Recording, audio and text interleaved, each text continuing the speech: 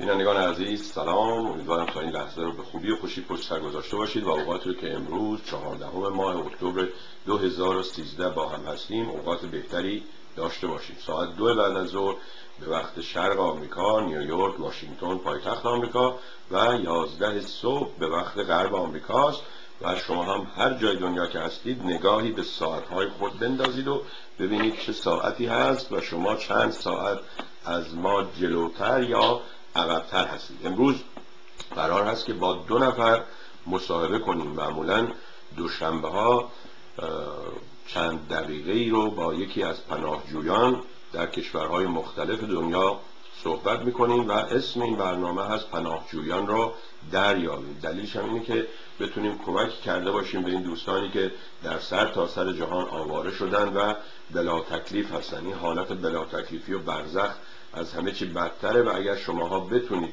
کمک کنید اونها به نوبه خودشون ممنون میشن. امروز با آقای صادق بهیار از سوئد از جبهه آزادی خواهان قرار از صحبتی داشته باشیم. اجازه بدید که من این ارتباط را برقرار کنم و امیدوارم که بتونیم با ایشون گفت و شنودی داشته باشیم. به درد دل ایشان گوش کنیم و همون جوری که خدمتتون گفتم اگر بتونیم یه مقداری هم به این عزیزان که در سر تا سر دنیا هستند و بلا تکلیف کمکی انجام بدهیم. اجازه بدید من تصویر ایشون رو دارم صداشون رو هم الان میارم اینجا و بله. آقای صادق بهیار از جبهه آزادی خواهان سوئد. آقای بهیار صادق عزیز سلام می‌کنم به شما و خیلی ممنون که با ما هستید. یه مقداری از خودتون بگید که آقای صادق بهیار کی بوده و چگونه امروز در سوئد زندگی می‌کنه مشکلاتش چیه و وضع پرونده پناهجوییش اونجا به چه صورت هست؟ چند وقت هست که اونجا اقامت می‌کنید؟ آیا شما هم مثل دیگران اقامتتون غیر قانونی است یا قانونی؟ و درد دل کنید با بینندگان و شاید این دوستان بتونن به شما کمکی بکنن. این میکروفون و این هم شما و بینندگان. بفرمایید. سلام خدمت شما آقای سربی گرامی و درود دارم خدمت همه بینندگان مردم تیوی آمریکا.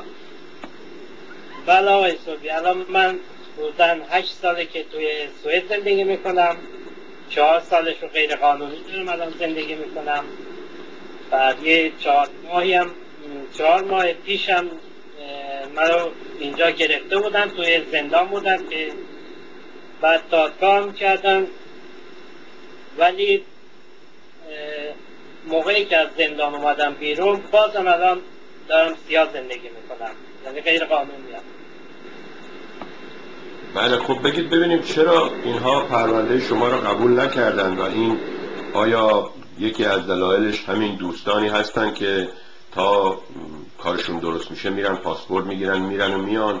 یا بر چه اساسی به اصطلاح شما رو رد کردن و پرونده شما رو رد کردن و چرا سوئد اینقدر وضعش بد شده؟ بله واقعیتش این دوستانی که الان مثلا میان اینجا اقامت سیاسی می‌گیرن بعد پاسپورت سیاسی می‌گیرن منتظر میشن پنج سالشون که تمام بشه بعد اون ایران میرن حالا دولت سوئد هم به هر نحویه می‌فهمه اونا رو.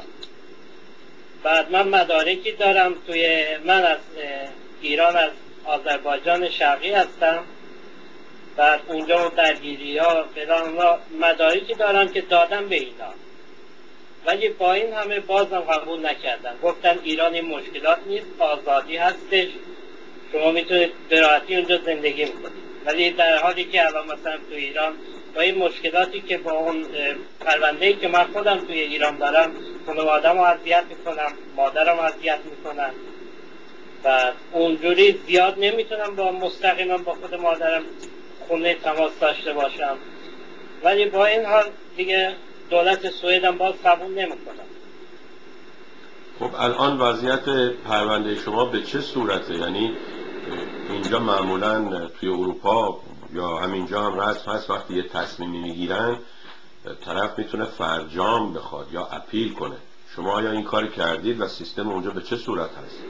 سیستم اینجا به این صورتی که مثلا دولت سوئد که میگه مثلا آها شما دیپورتی هستید باید برگردی ایران باید با ما همکاری کنی پاسپورت بگیرید از سفارت ایران مدارک بگیرید ولی کسانی که واقعا نمی‌تونن برن راه برگشت به ایران ندارن اونا دیگه مجبورن چهار سال صبر کنن تا بعد چهار سال پروندهشون دوباره به جریان بیفته.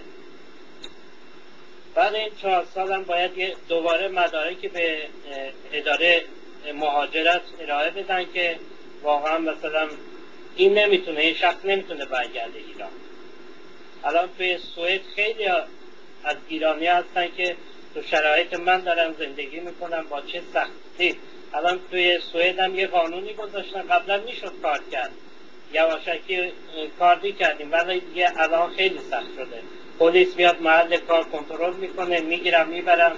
مستقیما دیپورت می‌کنم به ایران. یعنی کاری کردن که کارفرماها هم میترسن به شما کار بدن. آیا این دلیلش بیکاری هست؟ اونجا زیاده یا اینکه کلا می‌خوان جلو این به اصطلاح کسایی که غیر قانونی اونجا مثل شما زندگی می‌کنن به این وسیله بگیرن زندگیشون مشکل بشه و اونها رو مجبور کنن به برگشتن. دلیلش این هست؟ بله هدفشون اینه که مثلا اونایی که غیر قانونی زندگی می‌کنن اینجا اونا رو بگیرن به حالا به هر نحوی برگردن. الان حدودا یازده ماهی هم شده که اصلا ساکارا هم اونایی که مثلا شرکت دارن و اینا خودشون میترسن. جریمه سنگینی هم برای اونا گذاشتن. حتی مثلا اجازه کار شرکت و یا مغازه رو می‌گیرن از دستشون با پرسونایی که اونجا مثلا به صورت سیاه غیر قانونی دارن زندگی می‌کنن. بله. آقای بهیار اگه کسی بخواد توی سوئد به شما کمک کنه خب می‌دونم که جبهه آزادی خواهان خیلی کمک می‌کنه به دوستانی که پناهجو هستن چه کسانی دیگه امکان داره که به شما بتونن کمک کنن؟ مثلا وکلا هستن کیا هستن که می‌تونن به شما کمک کنن؟ شما خودتون به اونها الان صحبت کنید ازشون بخواین که اونهایی که اونجا بودن سالها زبان اونجا رو می‌دونن قانون اونجا رو می‌دونن امکاناتی دارن بیان به کمک شما و به قول معروف ای که دستت می‌رسد کاری بکن دست شما دوستان رو بگیرن و کمک کنن. شما تقاضای کمک از چه کسانی دارید؟ ما تقاضای کمک از همین وکلا داریم از خود مردمایی که اینجا هستن واقعیتش اینایی که دیگه الان شرایط جوری شده که زندگی خیلی سخت شده اینجا. برای امثال من که سیاه زندگی می‌کنن چون از نظر مسکن خیلی مشکل است. از نظر مادی خیلی خیلی مشکلات هست ولی مردم خود ایرانی ها می‌تونن ولی متاسفانه خیلی کمه. اینجور آدمایی که بخوان کمک کنن. بله من ممنونم از شما. به نوبه خودم از جبهه آزادی خواهان تشکر می‌کنم که کمک می‌کنه به شما دوستان. بله، شما گفتید که ممکنه یه نوشته ای هم داشته باشید بخواید بخونید. اون رو آماده کردید می‌خوان بخونید یا بذاریم یه وقت بله. دیگه یه فرصت دیگه. پایزتون آماده دارم اون رو می‌خوام بخونم برای مردم ایران خب من ساکت میشم و شما اون نوشته رو بخونید. بفرمایید. مردم ستم دیده ایران. رژیم استبداد حاکم بر ایران سالهاست مردم زحمتکش ما را به زندان و زنجیر کشیده و زندانها مملو از گونشگران راه آزادی. ما آزادی خواهان ایران اگر دست در دست همدیگر ندهیم نمی‌توانیم از جنجال این دشگیمان رهایی پیدا کنیم. به نظر ما بهترین گزینه گزینه اتحاد با همه مردم رنج دیده و زحمتکش ماست که می‌تواند استبداد فاشیسم مذهبی را به عقب براند و صلح و آرامش و رفاه را برای مردم زحمتکش ما به بار آورد. دوستان و همشهریان عزیز چشم به قدرت‌های بیگانه ندوزید که قدرت‌های بزرگ هرگز برای ما بدون منافع کاری نخواهد کرد. بهتر است به قدرت لایزال خودمان تکیه کنیم باور داشته باشیم که پیروزی از آن ماست. با زدن اتحاد هیچ قدرتی جرأت مقابله با ما را نخواهد داشت. پیش به سوی جبهه آزادی خواهان ایران. زنده باد اتحاد نابود باد استبداد. صادق بهیار استکل من از شما ممنونم. امیدوارم که به زودی اوضاع اقامت شما هم سر سامونی پیدا کنه و خود شما تماس بگیرید و خبرهای خوشی به دوستان بیننده و شنونده بدید. بهترین ها رو برای شما و دوستان دیگه آرزو می‌کنم. بینندگان عزیز مردم تیوی انشالله که ببینیم انشالله کارهای من و امثال من که واقعا خیلی زد می‌کشم به زودی اینجا. یا ایران عزیزمون آزاد بشه همینجوری برگردیم بریم کشور خودمون. ممنونم امیدوارم. امید به امید روزهای بهتر. مرسی عزیزم. خدا نگهدار. خدا. خب دوستان عزیز دوستان ایرانی رو در سر تا سر جهان می‌بینید که با شرایط مختلف با مشکلات مختلف دست و پنجه نرم می‌کنن و ماها اینجا چه کار می‌کنیم جز اینکه به همدیگه توهین و تهمت و ناسزا و تهدید. امروز قرار بود که آقای نوریزاد در برنامه نیاک National Iranian American Council شرکت کنه. حالا یا به صورت تلفنی یا به صورت اسکایپ.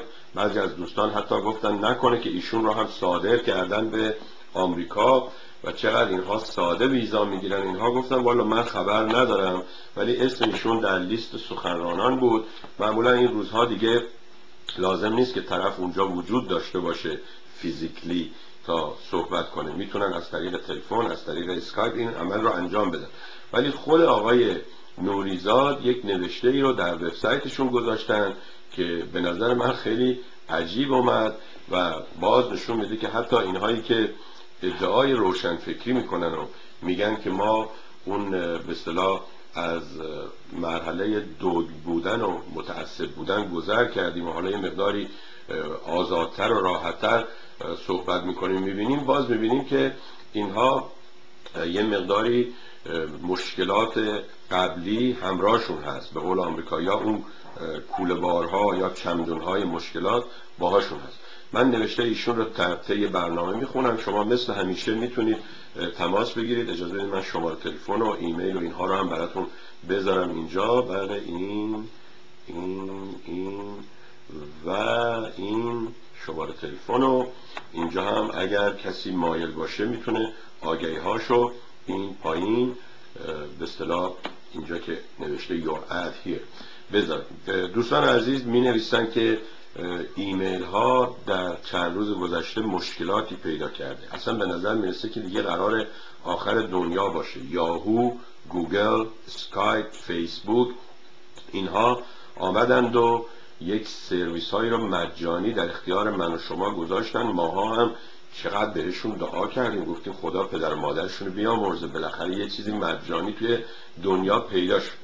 بعدا حالا یکی یکی متوجه میشیم. یادم میاد مدت ها پیش آقای مصطفی زاده گفت که بابا این سیستم اسکایپ رو ارتش چهل ساله داره استفاده می‌کنه و تازگی ها در, در اختیار مردم قرار داده تا مردم با هم صحبت کنن اونا هم به جایی که برن دنبال طرف و بگیرن و دستگیرش کنن و شکنجهش بدن و بگن تو مغزت چی هست و افشا کن و بگو. خیلی راحت نشستن اونجا گوشی رو گوششون و قشنگ طرز فکر رو یعنی اون تفتیش عقاید رو به این آسونی انجام میدن و می‌بینید که خوب همه ما رو وابسته کردن به این سرویس ها یعنی من ارتباطم با داریوش توی تگزاس فقط از طریق یاهوه اون وقتا گاهی وقتی با هم تلفنم می‌زدیم ولی از بس حالا دیگه کم حوصله شدیم و می‌خوایم سریعتر با هم در تماس باشیم. با ایمیل با فیسبوک بعد یه دفعه می‌بینی اونا هر وقت که بخواد می‌تونن این ارتباط ما رو قطع کنن.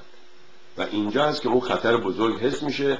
من امروز از آقای دکتر محیط پیام گذاشتم و دعوتشون کردم که بیان چهارشنبه یا جمعه صحبتی داشته باشن در این رابطه و اینها که به اصطلاح جزو فرهیختگان هستن دانشمندان جامعه ما هستن. یه بررسی داشته باشیم ببینیم به کجا داریم میریم. می‌دونید که اینها مثلا این مسائل سرمایداری که ماها همه آمدیم اینجا با خوشحالی گفتیم عجب کشور خوبی آدم میاد و پولدار میشه و اینها. دیدیم نه نه نه همچین به این سادگی هم نیست. پولدار میشی ولی بهت میگن حالا این پوله رو حتما باید اینجا خرج کنی این پوله رو باید بذاری تو استاک این پوله رو باید بذاری تو 401k اگر می‌خوای مالیات ندی.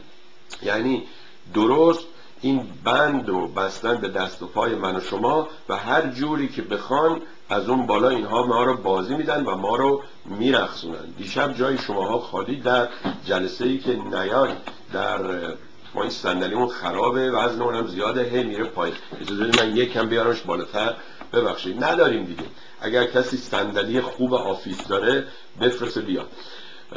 بعد توی نیاک دیشب آقای ماز جبرانی اونجا بود و خیلی قشنگ صحبت کرد و اینها و اتفاقا این ویدیو اگر حاضر بشه من اون رو براتون نشون میدم. اونهایی که به نیاک تهمت می‌زنن که اینها با جمهوری اسلامی هستن و نمی‌دونم میلیون ها دلار از این پول می‌گیرن از اون پول می‌گیرن.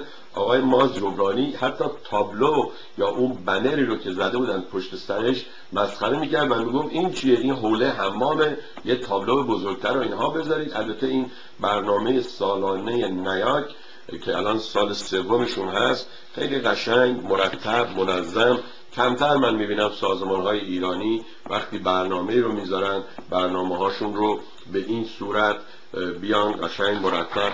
اجندا یا برنامه اون برگزاری اون مجلس رو اعلام کنند بگن کیا مهمون هستن کیا صحبت می‌کنن چه ساعتهایی.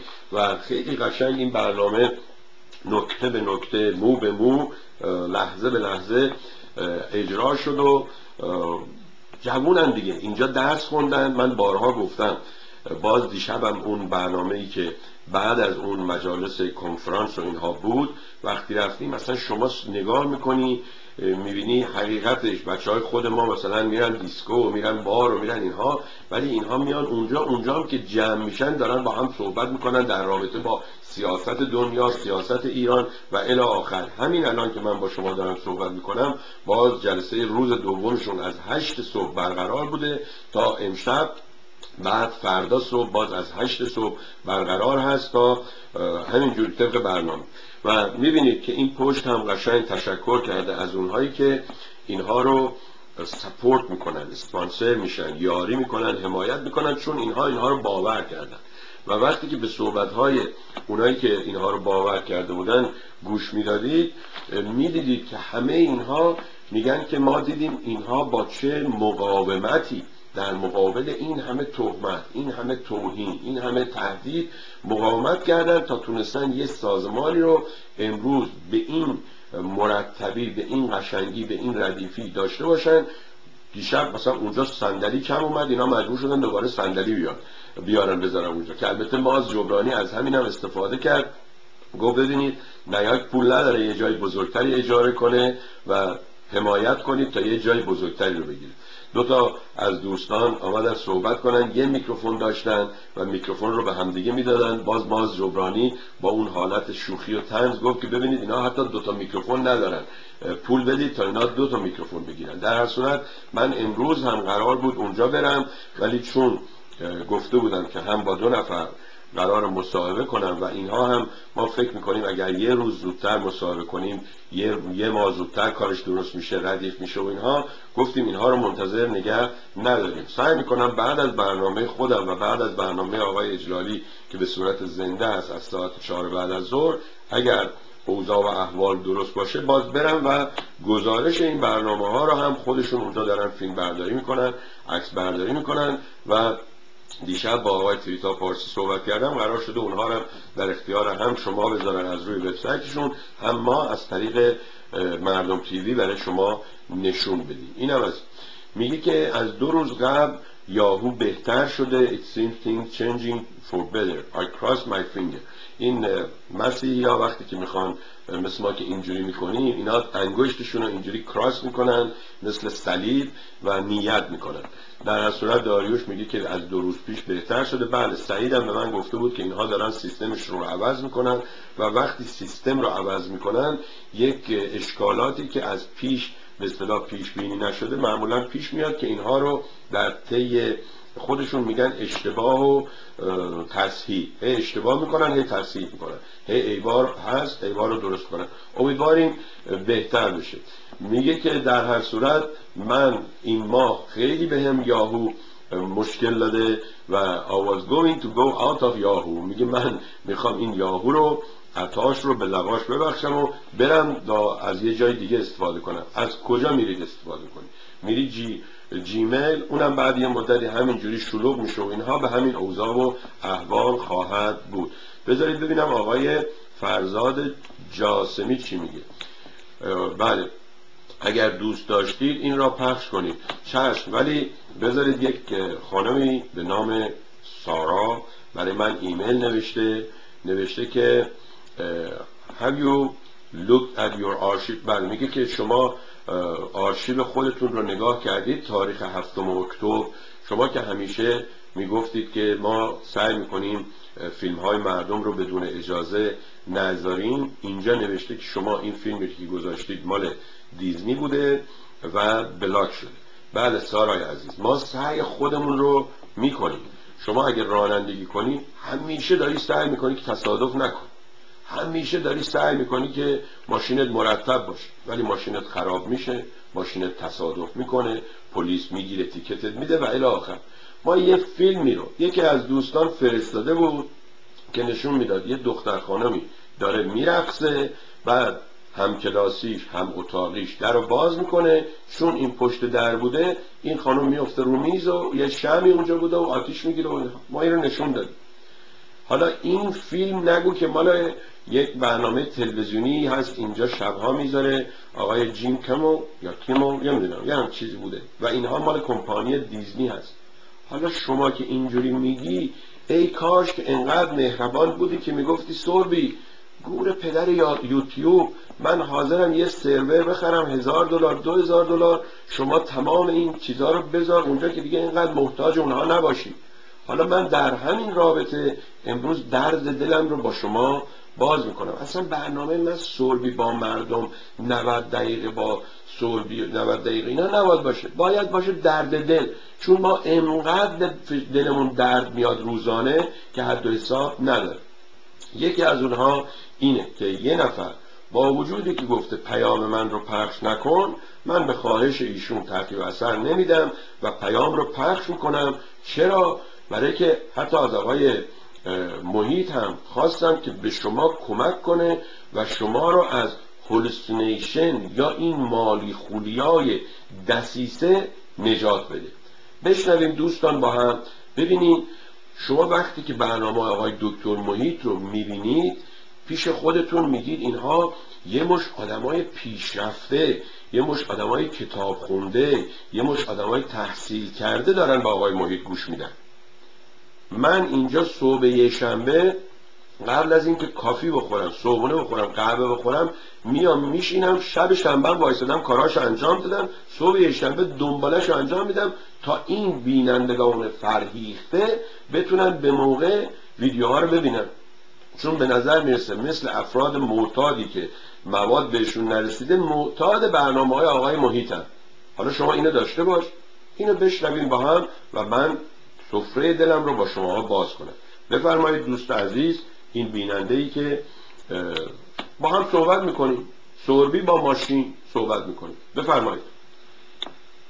آقای سوربی با عرض سلام. سلام به شما ممنونم. بفرمایید.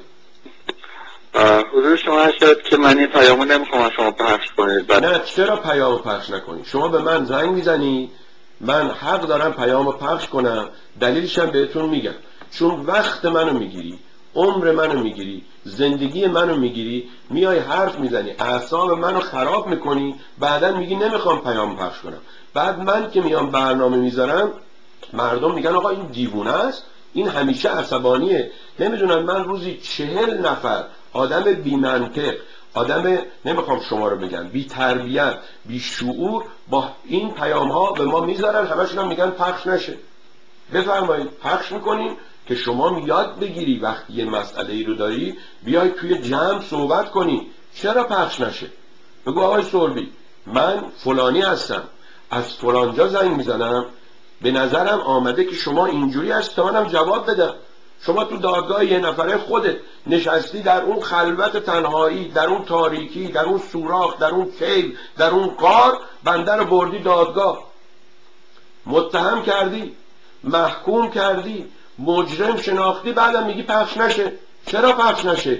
من می‌خوام مردم بفهمن که تو جامعه ما چه کسانی هستند و اینها هستند که چهل سال پیش هم همین مالی خولیا همین ای وای دسیسه شده ای وای اینجوری شده. بعدم فکر می‌کردن همه چیز رو می‌دونن ما رو به این روز انداختن. بفرمایید خوشحالم که شما خودتون آمدید تماس گرفتید. بفرمایید صحبت کنید. اصلا پیام نمی‌ذارم برای شما. ولی من شما رو به عنوان یک آدم آزاده و آزادی خواه می‌شناسم. ولی از همینجا وایس. شما من رو به عنوان یک آدم آزاده و آزادی خواه می‌شناسید ولی از امروز. اولا نشون میده شما در شناختت اشتباه می‌کنی و اشتباه کردی. پس اول بگو که من معذرت می‌خوام. من اشتباه کردم. و این اولین باری نبود که اشتباه کردم فکر کردم سوربی آزاد است. سی و پنج سال پیشم فکر کردم خمینی آزاد, آزاد است. بیاین به اشتباهات خودتون اقرار کنید تا مردم بفهمند کیا در چه زمانی چه اشتباهاتی کردن. آقا شما اشتباه کردی. مگه میشه سربی ایرانی آزاد و آزاده باشه؟ شما یک دونه آدم آزاده ایرانی به من نشون بده. من شما رو میفرستم کره ما. اشتباه کردی. آزاده یعنی چی؟ بفرمایید. از امروز هم ببینیم حالا شما چه کار می‌کنید و بنده از امروز باید با پای برهنه بخوابم شما بفرمایید. امروز متوجه شدم که شما روی سخنرانی های آقای دکتر محیط که روی یوتیوب می‌ذارین restriction گفت اولا سخنرانی ها جمع سخنرانیه. من چند سال برنامه آقای محیط رو از موقعی که مجانی ازش خواهش کردم پخش کردم. بعدا که ماهی 100 دلار بوده. بعدا که برنامه‌هاشون هی بیشتر شده. این کارو می‌خوان انجام بدن. روی اون بذاریم روی فیسبوک بذاریم صدا بذاریم اون بذاریم.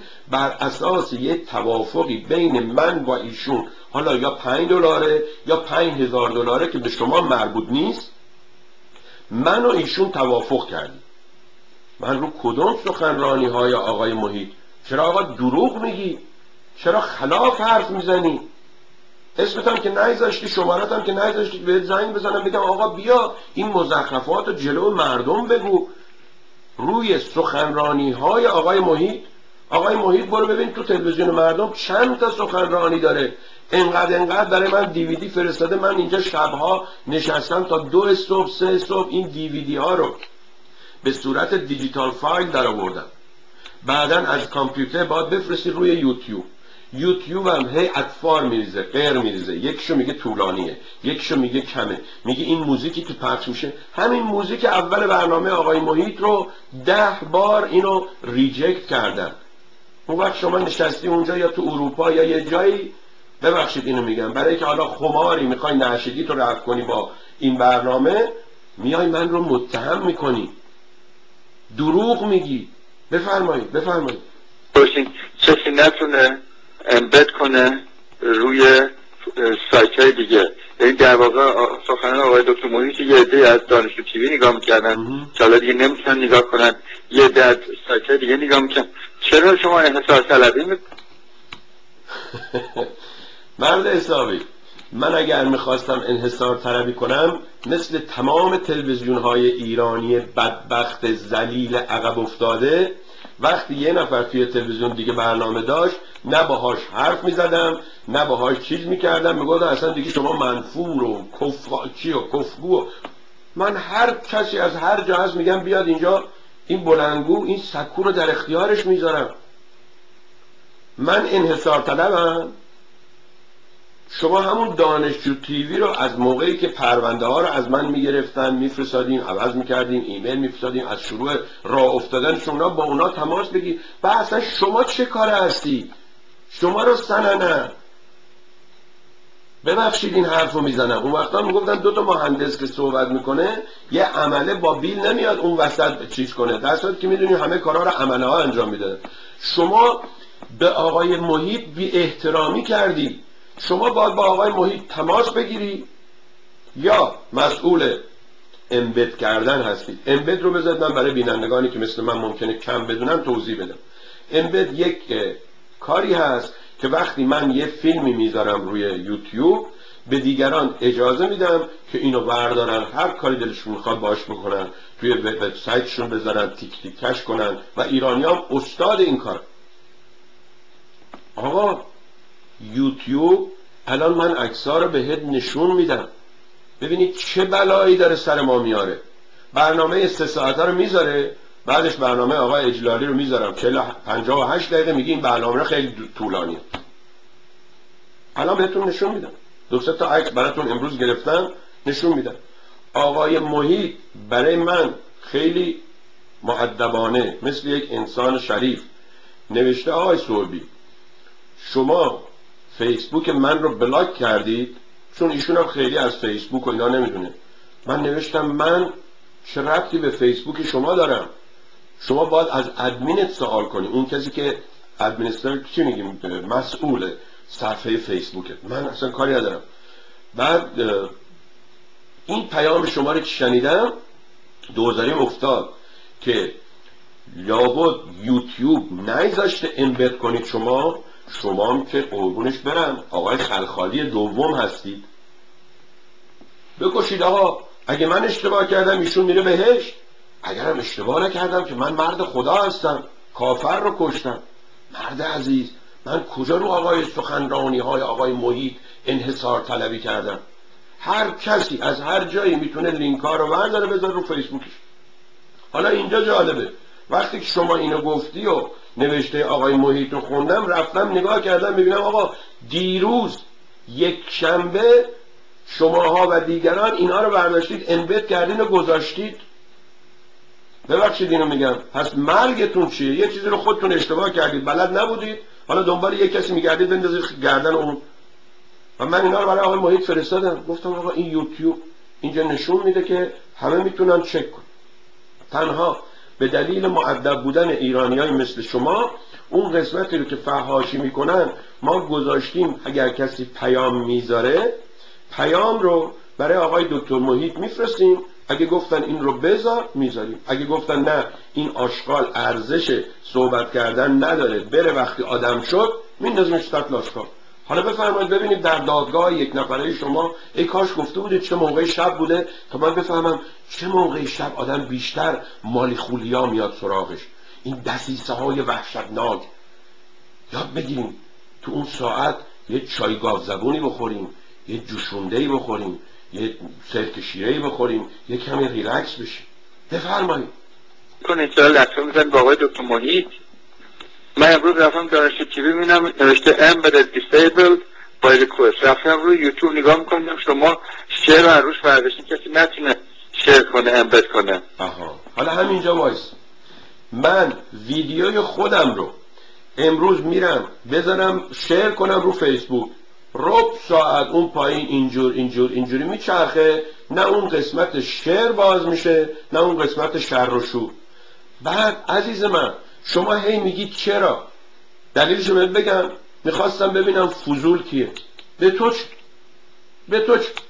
شاید آقای محیط به من گفته بوده که این کارو بکن. من ببینم چند نفر هستن که وقتی برنامه من نباشه صداشون در میاد. شما رو شما این وسط چه کاره هستی کی هستی؟ کی هستی که مسئول این هستی که چرا من لطمه می‌زنم با آقای محیط؟ چه لطمه ای زدم با آقای محیط؟ دوستان اینا اینا فکر می‌کردن روشن فکرن. اینا فکر می‌کردن می‌دونن. اینا فکر می‌کردن بهشون ظلم شده. تو خیابون راه میرم اگه پاش میخورده به یه سنگی فکر می‌کرده که سنگ رو همسایش کاشته اینجا که این پاش بخوره به سنگ چه کار می‌کرده؟ سنگ رو برمی داشته به جایی که بذاره کنار. فلان می‌زده چه همسایه رو میشکنده. به اینجا رسیدیم دوستان عزیزان. عزیزان من دوستان من. بعدم میگه پیامم پخش نشه. برای چی پیامتو پخش نکنم؟ تو روز منو خراب می‌کنی ولی پیامتو پخش نکنم. بذار چهار نفر که صداتو می‌شناسن شما رو بشناسن که ببینن آقا این آدم مالی خولیا داره. این اگه امروز بارون اومد فکر می‌کنه روسیه و آمریکا و انگلستان و اسرائیل بالای سرش ابر درست کردن که بارون بیاد ایشون خیس بشه. البته ناگفته نماند که این کشورها می‌تونن این روزا ابر درست کنن باد درست کنن طوفان درست کنن می‌تونن مزارع رو بزنن داغون کنن اگر می‌خواین برین راجع بهش بخونید یه چیزی هست به نام هارپ H A R P. بفرمایید دوست عزیز قاضی و چی میگن؟ شما قوه اجراییه و قضاییه و والا نمی‌دونم. من نمی‌دونم ما ایرانی ها به کجا می‌خوایم برسیم. آقای رزوارا برای من نوشته که آقا این آقای دکتر عباس به من توهین کرده و گفته که من قربون صدقه رضا پهلوی رفتم. من آقا تو برنامه شما اسم هر کسی رو آوردم با نزاکت معدبانه ازش اسم بردم. گفتم آقا جون حکومت های دیکتاتوری شاه و شیخ مردم را عصبی می‌کنن. حالا این عصبی یکی تعصبه یکی عصبانیتی هست بعد به خاطر این عصبانیت بی تربیت هم نمونه بارزش خود من. اگر من از دست این آقا عصبانی نمی شدم امرو بهش توهین نمی کردم این آقا باعث میشه من عصبانی بشم توهین بهش کنم یعنی خودمون داریم یه دایره رو درست می‌کنیم من شما رو عصبانی می‌کنم که من توهین کنیم شما اون یکی رو عصبانی می‌کنی که بهت توهین کنه. یه مشکی همه داریم به هم توهین می‌کنیم. آقا یوتیوب که مال بابای شما نیست. یوتیوب که مال عمه من نیست که یوتیوب دو سه تا بچه جوون اینا رو درست کردن که حالا یکی یکی هم گندش داره در میاد همچین هم نبوده. دولت از اولش اینا رو بهشون پول می‌داده حقوق می‌داده گذاشته سر کار که برن پیگیری کنن که به این روز بیفته که من و شما امروز محتاج باشیم. من محتاج باشم برای که هزار دلار ندم سرور بذارم اونجا. شما محتاج باشی برای که پنج دلار نفرستی آقای محیط ویدیو برات بفرسته بشینی اونجا. یعنی مفتخورمون کردن. مفتخورمون کردن. اون وقت به خاطر این مفتخوری تو سرمون می‌زنن. بعد هر وقتم اونها مشغول هستن میگن حالا خودتون بزنید تو سر هم دیگه تا ما برسیم بهتون. بفرمایید. برای آقای دکتر مسیج داشتم به این میگن آها. شما اون کاری که برای آقای دکتر محیط کردید درست ترین کاری بوده که انجام بدید به عنوان یک آدم فهمیده از برنامه یک کسی دارید استفاده می‌کنید. اون کس امروز برنامهش اشکال داره. با خودش تماس می‌گیری میگی آقای محیط من برنامه شما رو از وبسایت ABC می‌بینم. امروز نیست. بعدم آقای محیط بهت میگه که من اصلا نمی‌دونم ABC کیه با خودشون تماس بگی آقا شما یه آدم بی نظمی هستی یه آدم بی تربیتی هستی یه آدمی هستی سلسله مراتب رو بلد نیستی. به آقای محیط زنگ زدی تماس گرفتی ولی باز فضولی و ایرانی بازید گل کرده. بذار برم به سوربی هم یه انگولکی بکنم بگمش من فهمیدم ها فکر نکنی تو دستیسته کردی. آقا بنده دیروز از یک باید می‌رفتم نیاک تا چهار. سه و نیم رسیدم اونجا. اینجا بارون و طوفان بوده برق رفته. این باتری که ما خریدیم 20 دقیقه کار می‌کنه بعدش قطع میشه. بعد قطع شب وقتی رسیدم دوازده بوده جون نداشتم. بیام تو این اتاقه نگاه کنم ببینم سیستممون کار می‌کنه. داریوش عزیز لطف کرده نشته سوربی این برنامه قطع گفتم والا این بوده. خودشم نوشته فکر کردم که باید چی آقای خسرو مترجمی زنگ زده سوربی جان. اون لینکی که فرستادی برای TV box قطعه. اگر کامپیوترت داره کار می‌کنه اون لینک رو برای ما چک کن. مثل آدم. کسی رو محکوم نکردن نگفته آها سوربی امروز که می‌خواد بره نیاک گفته بذار تلویزیون رو خاموش کنم که همه مجبور بشن بیان نیاک. آقا بیا بیرون. از این قفسی که خودت برای خودت ساختی بیا بیرون دوست عزیز. زنگ می‌زنی یه جا. اولا شما با من نباید زنگ بزنی. من با شما هیچ بیزینسی ندارم. شما میری یه جایی یه کره ای می‌خری مسمومه. برش میگردونی به اون مغازه. برش نمیگردونی به شرکتش. بعد شرکت بهش اگه بردی همچین کاری کردی شرکت میگه آقا این فروشنده این کره رو دو ماه پیش فاسد شده انداخته به شما. به من چه؟ شما سلسله مراتب رو یاد بگی ببین با اون شخصی که مربوط هست این کار انجام میده تماس بگیری اگه برقتون قطع میشه به اداره آب زنگ نزنید. اگر آب خونتون چکه می‌کنه نمی‌دونم به اداره آب زنگ نزنید. خونه شما خرابه باید زنگ بزنید به هندیمن. ما اینا رو باید یاد بدیم. با آقای رزمارا گفتم گفتم آقا ببین من باورم اینه که اگر حکومت و دولتی درست باشه باید آموزش و پرورش رو شروع کنه قدم به قدم. یاد من و شما بده که آقا صف وقتی میگن وایسین تو صف مثل آدم وایسین. هی جلو صف نزنید. من دیشب دیدم اونجا یه صف طولانی هست. رفتم اون ور اونجا هیچ کس نیست. آمدم به اینایی که ته صف بودن از نصف صف. گفتم اون و هیچ کس نیست. هر کی می‌خواد بره داخل. چون هر کی میاد اینجا اول می‌بینه وای میسه. برید اون و همشون تشکر کردن مثل آدم رفتن. شما دوست عزیز حرف مزخرفی زدی. حالا من اکسا رو بهت نشون میدم. شما به من عذرخواهی بده کاری. به من وقت منو بده کاری. به من اعصاب منو بده کاری. حالا ببینم مرد عمل هستی که بگی آقا من هزار دلار میدم یه کامپیوتر سرور بخرید که ما محتاج یوتیوب نباشیم. یا مرد عمل هستی با آقای محیط تماس بگیری بگی با این دانشجو تیوی که اینقدر زحمت کشیدن این سه هزار دلار اینا سرور بذارن. شما فیلمی که میفرستی برای سوربی برای ما هم بفرست. ما مستقیما می‌ذاریم اونجا که اگر یوتیوب اشکال داشت اگر این سوربی فلان فلان شده دستیسته کرد ما باز یه منبع دیگه داشته باشیم. من می‌دونم پیشا پیش. نیستید شما. شما و من مفتخور هستیم. مفتخور زایده شدیم. مفتخور زندگی می‌کنیم. مفتخور هم از دنیا میریم. به همین خاطر یه مدت شاه سوارمون میشه یه مدت شیخ سوارمون میشه. حالا سب کنید یا شیخزاده یا شاهزاده بیاد سوارتون بشه. بفرمایید. داخلایی به این میگن لطمه زدن. با آقای دکتر محیط داریم ده خنجر از زدن. با آقای دکتر محیط شما ظاهرا آزادی خواهی هم ولی دنبال پول میدوین. یعنی آدمی هستین که ظاهرتون با باطنتون فرق می‌کنه. با آقای دکتر محیط چرا لطمه می‌زنید؟ مرد حسابی خجالت آور این کار شما. اولا خجالت پدر و مادرت باید بکشن که تو رو به دنیا آوردن. برای که این همه اشتباه توی پیام تلفنی از هیچ کسی به از یه آدم اولاغ و عصبانی بر نمیاد. مردک! این عکس رو من الان نشون میدم. دوستان شماها نگاه کنید ببینید چه خبر در فیسبوک در یاهو در گوگل و بعد ببینید افراد والا نمی‌دونم به شما من بگم روانی بگم چی؟ واقعا به خودت یه زنگ بزن بعدا بگو من برنامه رو دیدم. اگه یه کسی داداش من با من همچین کاری کرده بود من بهش اون فوشا رو می‌دادم. تو من همون فوشا رو تو برنامه آینده بدم. خانم نیر وقتی که من باشون مصاحبه کردم بعد گفتم که مصاحبه آقای علی لیمونادی اینجوری نیست یه دوربین برداری بری بشینی اونجا. هر چی اونا میگن به و چهچه برای که یه چای گذاشتن جلو یا یه قهوه. باید طرف رو چلنج کنی به چالش به طلبی بگی آقا آقای زاهدی شما اینجور شما اونجور. این خانم برای من نوشت که آقا شما میگی عنایت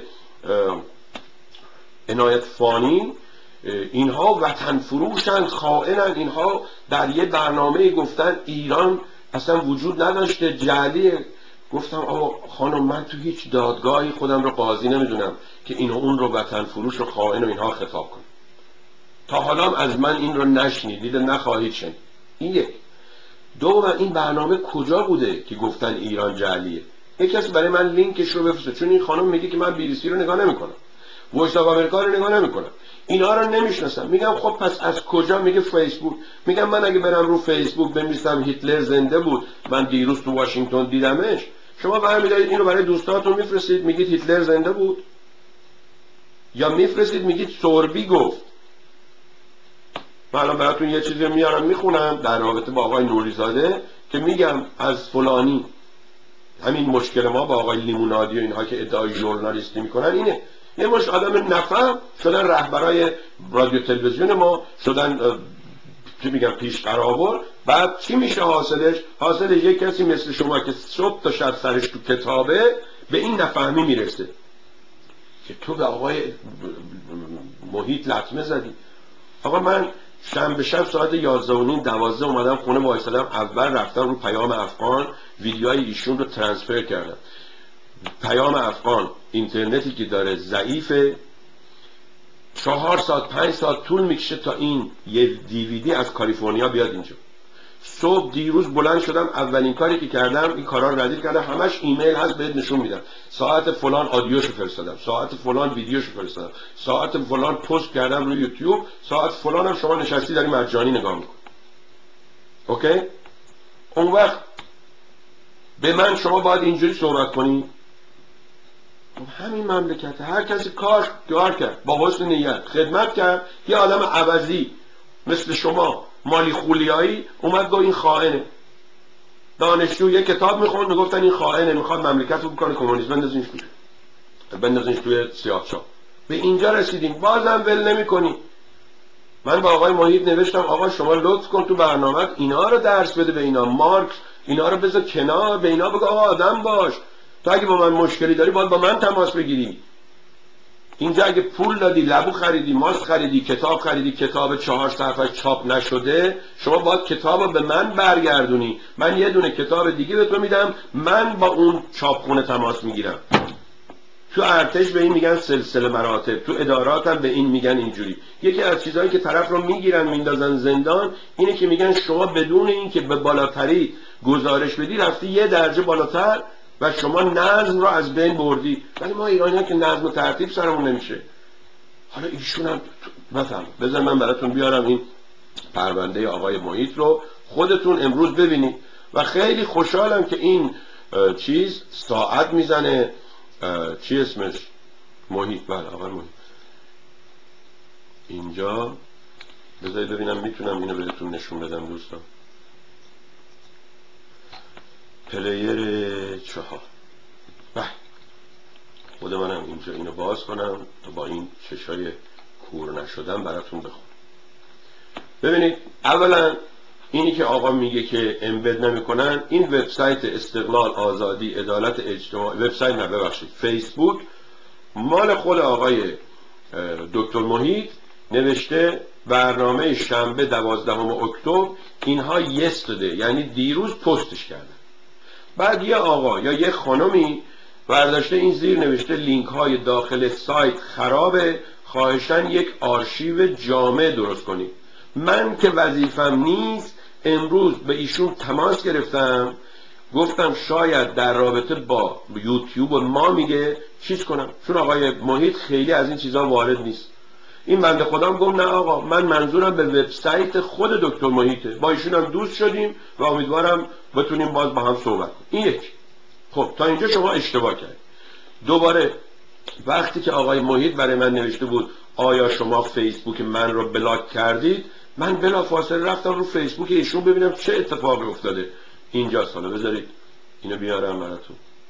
اینجاست این صبح زودتر از اون یکی. رفتم می‌بینم نرخ ویدیوی شنبه دوازده اکتبر اینجاست داره کارم می‌کنه و الی آخر. خب حالا بیام بهتون درد دل خودم رو بگم. اون پیام رو براتون پخش کردم و اما اینجا. شما بیاین روی یوتیوب که این آقا میگه گفته شیر نمی‌کنه.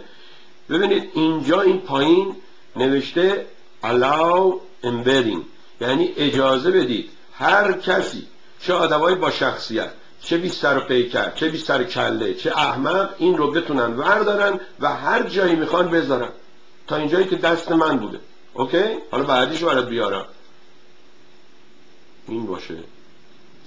حالا بیا شما یوتیوب ببین چه بلایی سر ما میاره آقای قاضی. ببینید از فوریه از ژانویه هر چی که شما بگید اینا هی نوشته که نمی‌دونم این ویدیو رو ما اونجا قطع کردیم این ویدیو رو ما در بخشی از دنیا قطع کردیم این ویدیو رو ما فلان کردیم. اینا عمر منه. اینا سه ساعت دو ساعت چهار ساعت من وقت می‌ذارم لینک می‌ذارم بعد میرم و میام می‌بینم اول نشون داده بعدم پدر سوخته برش داشته. اینم یکی دیگه. حالا ببینم شما مرد میدان هستی که کمک کنید به دانشجو تیوی کمک کنید به آقای محی کمک کنید به تلویزیون مردم یا بازم فقط زرزر می‌کنید. اگرم من عصبانی هستم اصلا هم عذرخواهی نمی‌کنم. عصبانی هستم چون شما من عصبانی می‌کنی. آقا ببین این هفتم اکتبر میگه برنامه آقای اجلالی خیلی طولانیه. هفتم اکتبر نهم اکتبر. من مجبور میشم بعضی وقتا فیلمامو میرم می‌زنم روی ویمیو بعد برمیگردیم چهار تا حساب درست کردیم. یکی حساب درست کردیم به نام سوربیت یوتیوب. یکی مردم تیوی یوتیوب. یکی سوربی 2012 از یوتیوب. شما مشکلات منو نمی‌دونی فقط نشستی اونجا رفتی روی به وبسایتی نتونستی ببینی. می‌خوام که نبینی. برو یه وبسایت دیگه نگاه کن. من تعهدی ندارم برای دانشجو تیوی.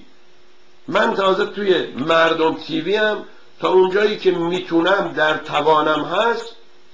دیگه نمی‌تونم که جونم رو بذارم اینجا که چراغ اینجا روشن باشه. مرد حسابی بگم.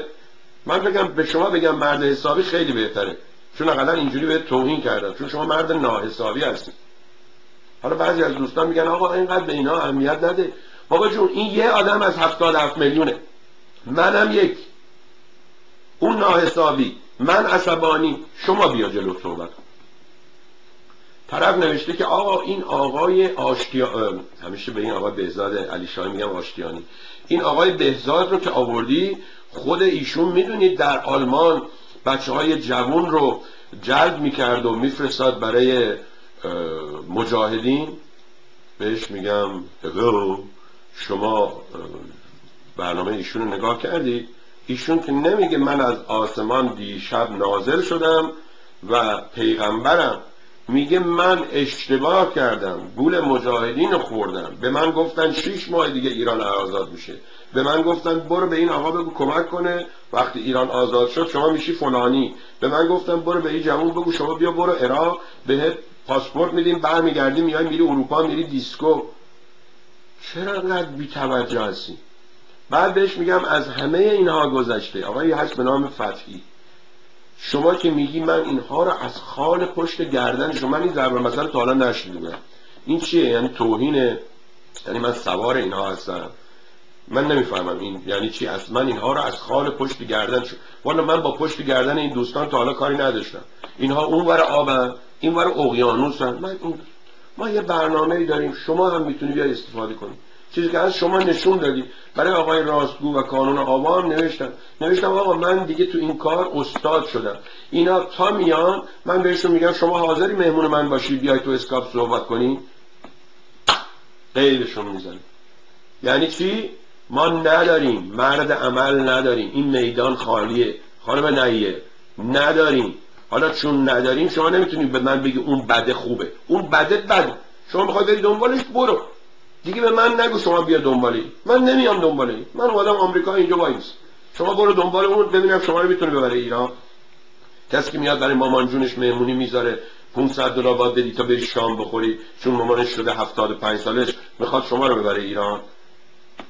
بله بری من اشتباه می‌کنم اونم توضیح من بود برای آقای رزمارا که بله آقای رزمارا.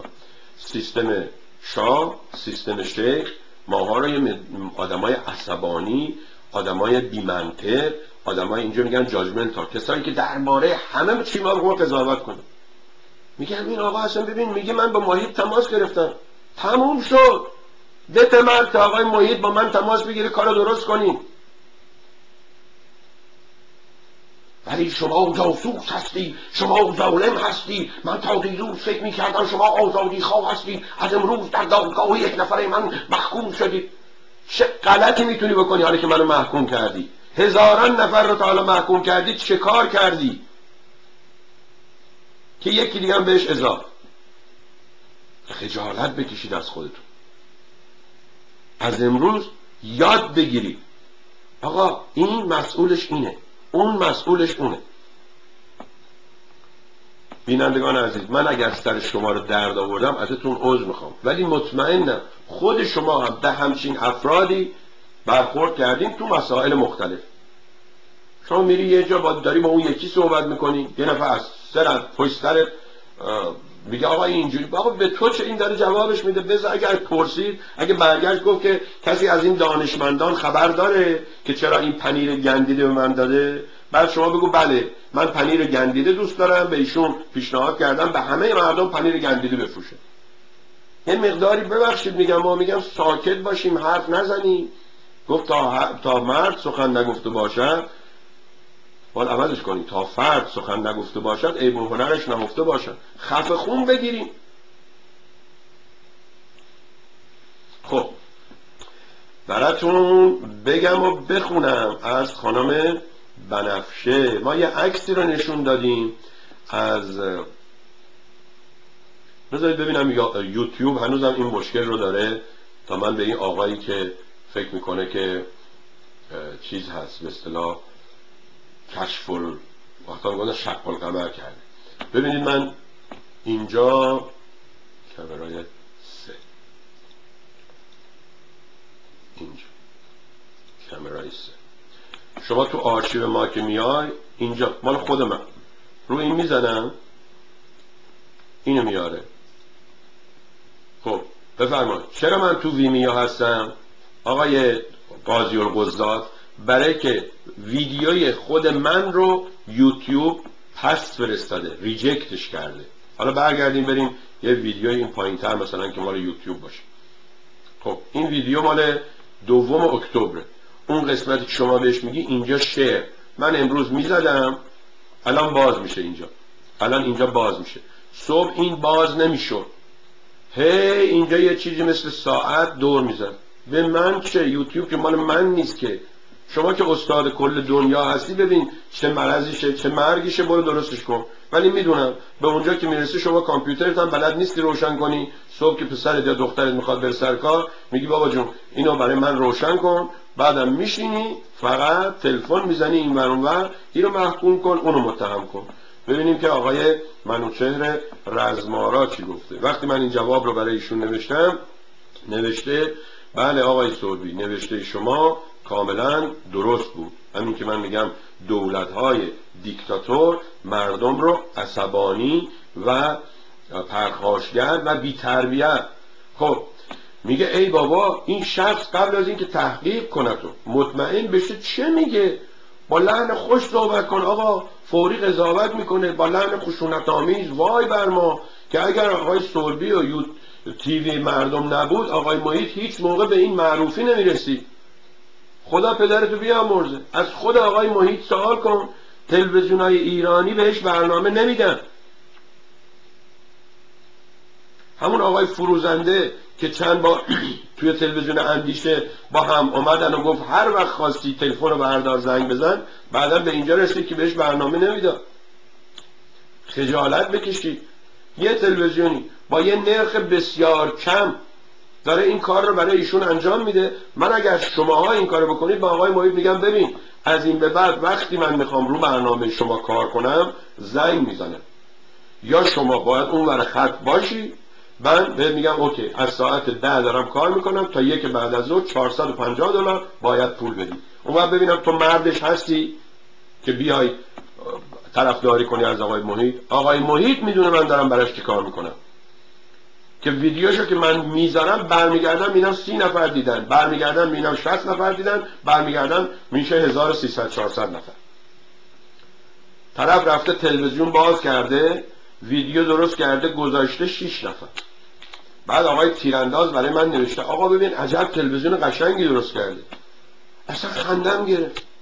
میگم آقای تیرانداز این که کپی صفحه منو زده رنگش مال منه. چیش مال منه حالا ما که کپی رنگ نداریم و هیچ کس نمی‌تونه بگه این. من آقا از 2003 زحمت کشیدم تا 2008 و 2009 اینه اینجا بذاریم اینه اینجا بذاریم این اسلاید شو باشه این اینجوری باشه. این آگهی اینجوری باشه. این آقا از راه رسیده این کار کرده. اون وقت شما برای اون لینک رو پخش می‌کنی برای دوستان ارسال می‌کنی. من به خودم اجازه نمیدم از شماها خواهش کنم حتی برای دوستتون ارسال کنی. میگم اگر می‌فهمن اگر در خانه کس هست یک حرف بس هست. خودش میفرسه اگه نه ولش اینم از این ماجرا. پس فهمیدی دوست عزیز مشکل من یکی و دوتا و سه تا و چهار تا و ده تا و صد تا نیست. ببینیم که چی میشه. آها مرسی مرسی. آقای هروی عزیز روز چهارشنبه برنامه خواهند داشت. برنامه های این بابک هروی هم خیلی سر و صدا برپا می‌کنه چه توی فیسبوک و چه روی یوتیوب. برید حتما ببینید آرشیو مرتب و منظم ایشون داره. به غیر از ویدیوهایی که در تلویزیون مردم داره کارهای هنریش رو هم روی یوتیوب می‌تونید ببینید. من تنها تلویزیونی هستم که به طرف میگم برای اینکه محتاج من نباشی آقای محیط یه وبسایتی مال خودت هم داشته باش. فیسبوک مال خودت هم داشته باش. فردا سوربی مرد. شما ویدیو رو فرستادی این نیومد. بتونی به اون بچه های پیام افغان بگی برات بذارنش اونجا. اون وقت ببین چند ازت می‌گیرن همون بچه که ساعتی 8 دلار می‌گیره ببین این کاری رو که سوربی انجام میده بهت میگه هفته چند. اون وقت میاد هر روز هم دو, دو بار برنامه شما رو پخش کنه. آرشیو بذاره توی یوتیوب بذاره. نمی‌دونم برنامه رو رو پلیلیست پخش کنه. برید آقا خجالت بکشید. بدون تحقیق بدون میگه تحقیق تجسس نه اون جاسوسیه. یعنی بریم دنبال کشف و فلان بفهمیم کی به کی کجا به کجا. ممنونم از دوستی که اینو نوشته که ای آقا این آقا بدون هیچ تحقیقی انقدر برداشته مزخرف گفته. شاه و ارتشیان. یا یه عکسی نشون دادیم که یه ارتش بودی اویسی گویا. داره دست آقای رضا پهلوی رو اون موقع که 11 سال بوده میبوسیده. چندین پیام گرفتم باز طبق معمول پیاما پخش نشد. یکیش این بود که گفته آقا حالا شما میگی دست بوسیدن اینا حتی اجازه نداشتن ببوسن. چون اینا می‌گفتن دهن اینا ممکنه کثیف باشه. میکروب داشته باشه فقط با ادا در می آوردن تا اون نزدیکی می‌رسیدن که من کلی خندیدم ای کاش میذاشتین من اینا رو پخش کنم. این یکی. ولی خانم بنفشه نون از پاریس نوشتن شاه و شاهزاده و ارتشیان. جناب سردی سلام. برای آنکه بدانیم که جا و مکان ارتشیان در مقابل شاه چه بود و چی بود باید القابی چون پدر ملت یعنی تنها عاقل سایه خدا و یا دارنده موهبت الهی و یا ادعاهای مذهبی و به اصطلاح تئولوژیک دیگر را در نظر بگیرید شاه یک طرف بود و سر داشت و تصمیم می‌گرفت. همه ملت در طرف دیگر و بی سر یعنی بدون عقل و بدون حق تصمیم. همانطور که ملا خمینی هم گفت اگر همه بگویند آری من می‌گویم نه. از لحاظ تئولوژیک یعنی فلسفه مذهبی همانطور که زن هستی خود را مدیون مرد است و اگر مرد نبود زن نمی‌توانست وجود داشته باشد همین مدل سلسله مراتب در مقابل شاه به کار برده می شود برای ارتشیان در فرمول ترکیبی جان نساران باید بگردیم. اگر تجزیه کنیم می شود شاه جان و ارتشیان نساران یعنی بیجان. این از روی جهاننگری بوده. و این از روی جهاننگری بدو و بستان یا بدو و بستون ساخته شده است. دو طرف معادله برابر نیست. یعنی یکی به نفع دیگری حذف شده است. در حالی که مثلا فرانسویان قبل از انقلاب می‌گفتند یکی برای همه همه برای یکی یعنی یکی شاه برای همه تصمیم می‌گیرند همه از یکی اطاعت می‌کنند در بعد از انقلاب فرانسه دو طرف معادله برابر گردید و شد هم تو بده هم من می‌دهم. یکی از من یکی از تو که به زبان فرانسه می شود دونان دونان. نمی‌دونم درست تلفظ می‌کنم یا نه. در حالی که به فارسی معادله هنوز بده و بستان است.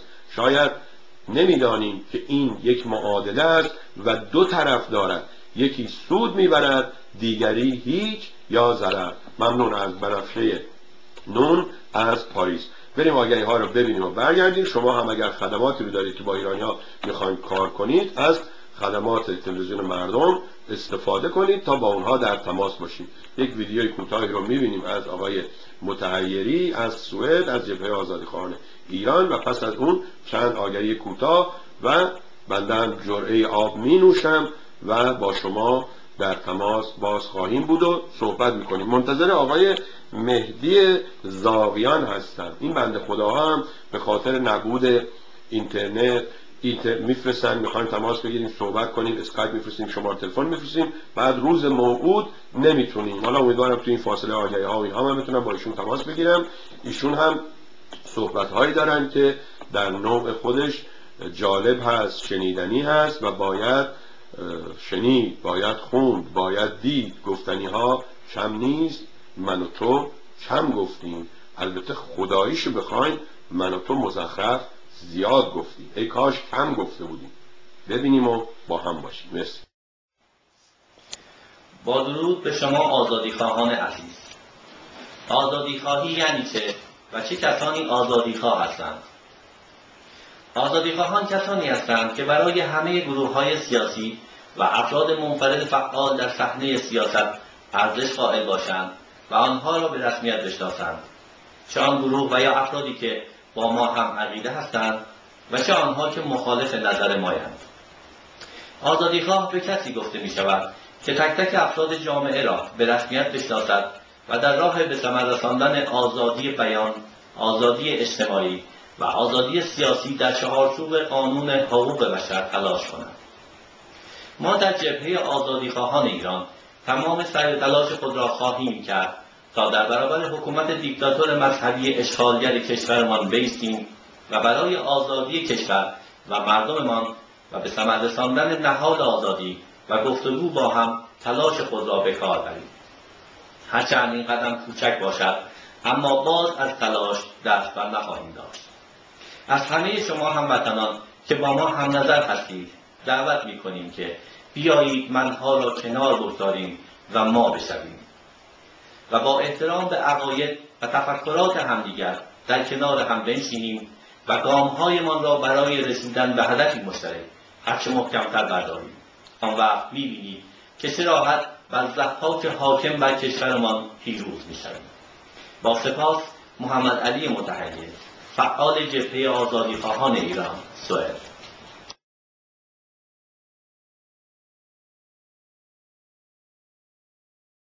Bon Voyage Travel میزبان ایرانیان بر عرشه ملکه کشتی های جهان Golden Princess با دو ستاره جهانی اندی و شنی با شکوهتر از همیشه سفری پرشور و سرشار از هیجان در سواحل لاجوردی اقیانوس آرام 18 تا 21 اکتبر. از شهر سان پدرو تا آبهای گرم خلیج مکزیک بندر زیبای انسینادو با اندی و شنی در تالار پرشکوه کشتی افسانه Golden Princess. تمامی این سفر پرشکوه از آغاز تا پایان فقط 450 دلار برای هر نفر. سه روز و سه شب پایکوبی بیوقفه. سه روز و سه شب صبحانه نهار و شام شاهانه میهمان ملکه کشتی های جهان باشید به همراه دیجی ایرانی گروه رقص شرقی و شوهای مخصوص. کازینوی Golden Princess به سبک لاس ویگس 18 تا 21 اکتبر. برای اطلاعات بیشتر و رزرو با تلفن 888 610 6264 Bon Voyage Travel تماس فرمایید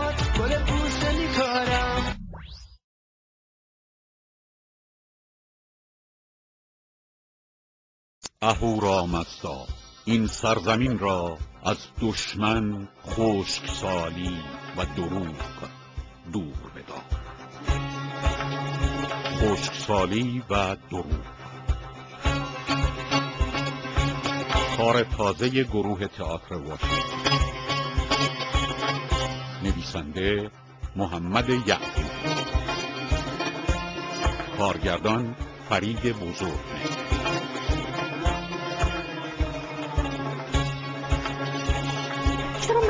نمی‌فهمم وقتی معذرت خواهی می‌کنن دیگه نباید اون کار تکرار کنم. پریسا فرهادی هستم نقش میترو رو در خوشسالی و دروغ بازی می‌کنم. زنی شکننده آسیب پذیر و شکار ولی راستی چرا خانوما این روزا کمتر دامن میپوشن؟ شاین شکیبی هستم آرش رو در خوشسالی و دروغ بازی می‌کنم. با اینکه اصلا دوست ندارم دروغ بگم. با وجود این به همه دروغ میگم. ولی چرا مردا به جای دوست دختر خودشون با دوست دختر دیگران ازدواج می‌کنن. سمیرا بازگیر هستم آلا رو بازی می‌کنم در خوشسالی و دروغ. آلا زنی تحصیل کرده و جاه طلبه که بهترین ها رو برای خودش می‌خواد. ولی؟ چرا زنها قبل از حرف زدن فکر نمی‌کنن؟ خسرو انور هستم امید در خشکسالی و دروغ بازی می‌کنم. شخصیتی که از یک دورویی و سردرگمی برخورداره ولی؟ یک شنبه 27 اکتبر 2013 ساعت هفت شب George Mason University Center for the Arts Concert Hall. فروش بلیت در دانشگاه جورج میسون 703 993 27 80 و در گروه تئاتر واشنگتن 301 440 88 88 خشکسالی و دو.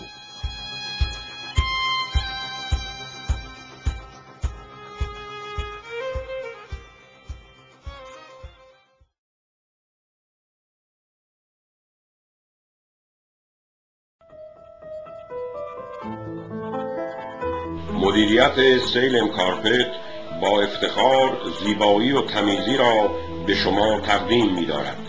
انواع فرشها. موکت ها کفپوش های چوبی لمینیت های خوشرنگ و زیبا با قیمت های بسیار مناسب برای منازل دفاتر کار هتل ها و مؤسسات شما.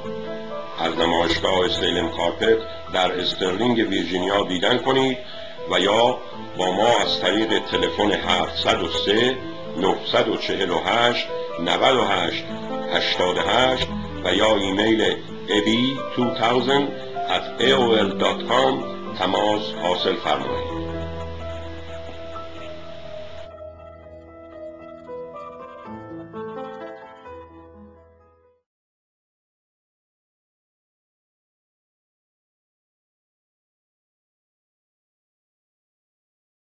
خب بینندگان عزیز سلام مجدد. ممنونم که باز هم با ما هستید. طبق معمول می‌دونید در تلویزیون مردم من همیشه گفتم از چپ چپ تا راست راست از مذهبی مذهبی از دیندار دیندار تا بیدین بیدین. و خیلی خوشحالم که تونستم این پلتفرم یا این سکوی ارتباطی رو در اختیار همه بذارم. یک موضوعی رو که از وقتی که بشر تاریخ داشته و بوده و داستان بوده وجود داشته و بشر همیشه داشته به اصطلاح اون رو انکار می‌کرده و روش رو میپوشونده مسئله همجنسگرایان هست. من پس از اینکه با اون دوستمون صحبت کردم دوستان زیادی تماس گرفتن و چند روز پیش با یک آقای آشنا شدم به نام آقای مهدی زاغیان از سوئد که ایشون توی فیسبوک به نام عرفان مهاجر صفحه‌ای دارن. سعی می‌کنیم توی برنامه آینده اون صفحهشون رو نشون بدیم. شاید همین الانم هم وقتی ایشون صحبت کنه من این کار رو انجام بدم. و برای من خیلی جالب بود که ایشون میگه که ازدواج های اجباری همجنسگرایان ایرانی در ایران و قربانیان این ماجرا که ایشون خودش رو هم یکی از این قربانی ها می‌دونه. آقای مهدی عزیز من به شما سلام می‌کنم. خوشحالم که مهمون برنامه ما هستید. چون این واقعا مطلب جدیدی هست برای من. من اصلا به خودم اجازه نمیدم دربارش صحبت کنم. از شما خواهش می‌کنم ما رو یه مقدار آشنا کن. چرا شما میگید این ازدواج های اجباری؟ ما تا حالا تو ایران شنیده بودیم ازدواج های اجباری به وسیله مرد و زن برای ما پول درآمد اینجوری. بعد حالا شما در یه فصل جدیدی باز کردی ازدواج های اجباری همجنسگرایان و خودتونم میگید قربانی این ماجرا هستید این یه مقداری توضیح بدید. از دوستان می‌خوام که اگر در این باره سوالی دارن پرسشی دارن یا نظری دارن چه با شماره تلفن چه با ایمیل تلویزیون مردم و چه مستقیما با خود شما تماس بگیرن تا بتونیم در برنامه های آینده این رو بیشتر باز کنیم. چون من باور دارم که اینها رو باید قدم به قدم بدون تعصب جلو بریم تا بلکه مشکلات جامعه ما حل بشه. من میکروفون رو در اختیار شما می‌ذارم. این شما و این هم بینندگان و شنوندگان تلویزیون مردم بفرمایید. مرسی. سلام و خسته نباشید. میگم خدمت شما و همه همکاران عزیزتون. من مهدی زاغیان هستم.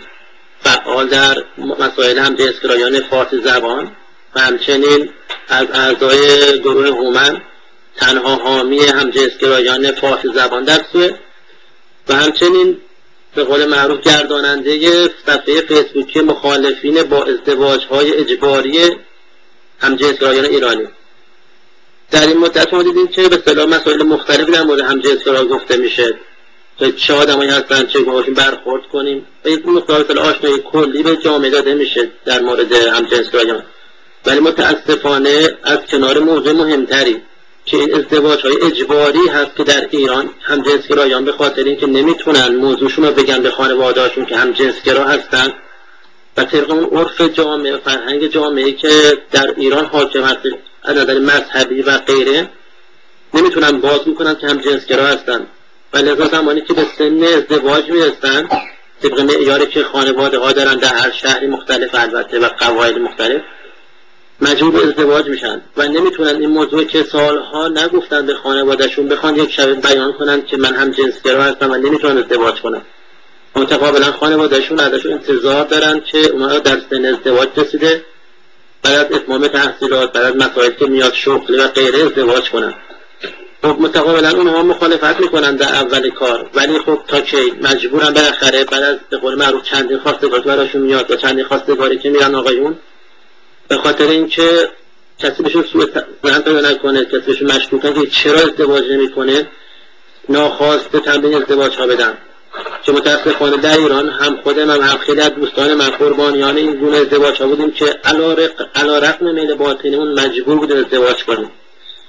و در حالی بود که واقعا متاسفانه کسی که وارد زندگی من و امثال ما میشه هیچ اطلاعی از این موضوع نداره. شما می‌دونید که در زندگی انسان ها ازدواج به منزله ورود محله دوم زندگی هست یعنی اون شخصی که با هزاران هزار آمال آرزو وارد زندگی اون شخص میشه که بتونه خودش زندگی درست کنه نمی‌دونه که با یه شخصی طرف کرده و هویت جنسی دارای دیگر باشه جنسی است و شخصیت داره که هم جنسگرا است.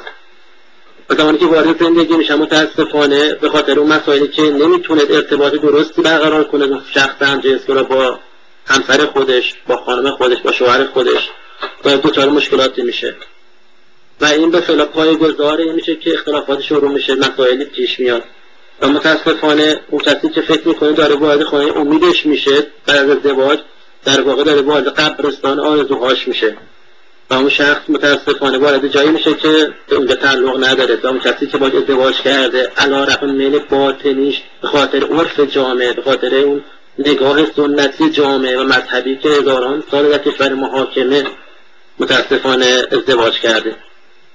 و اون فاجعه زمانی صورت می‌گیره که این مجبور میشن هم جنس برایان به خاطر اون کسی که اون همسرش رو فکر می‌کنه که می‌تونه به اصطلاح با آوردن یک نوزاد و یک پسر یا دختری ستونهای لرزان زندگیشو محکمتر کنه اونا اقدام به بچه دار شدن می‌کنه. مطمئنا اون اول کار خب مثلا اجازه نمیده و قبول نمی‌کنه. ولی خب باز هم به خاطر عرف جامعه و نگاه مردم بعد چند سال مجبور میشه یک قربانی دیگر به قرب چرخه قربانیان ازدواج های اجباری وارد کنه.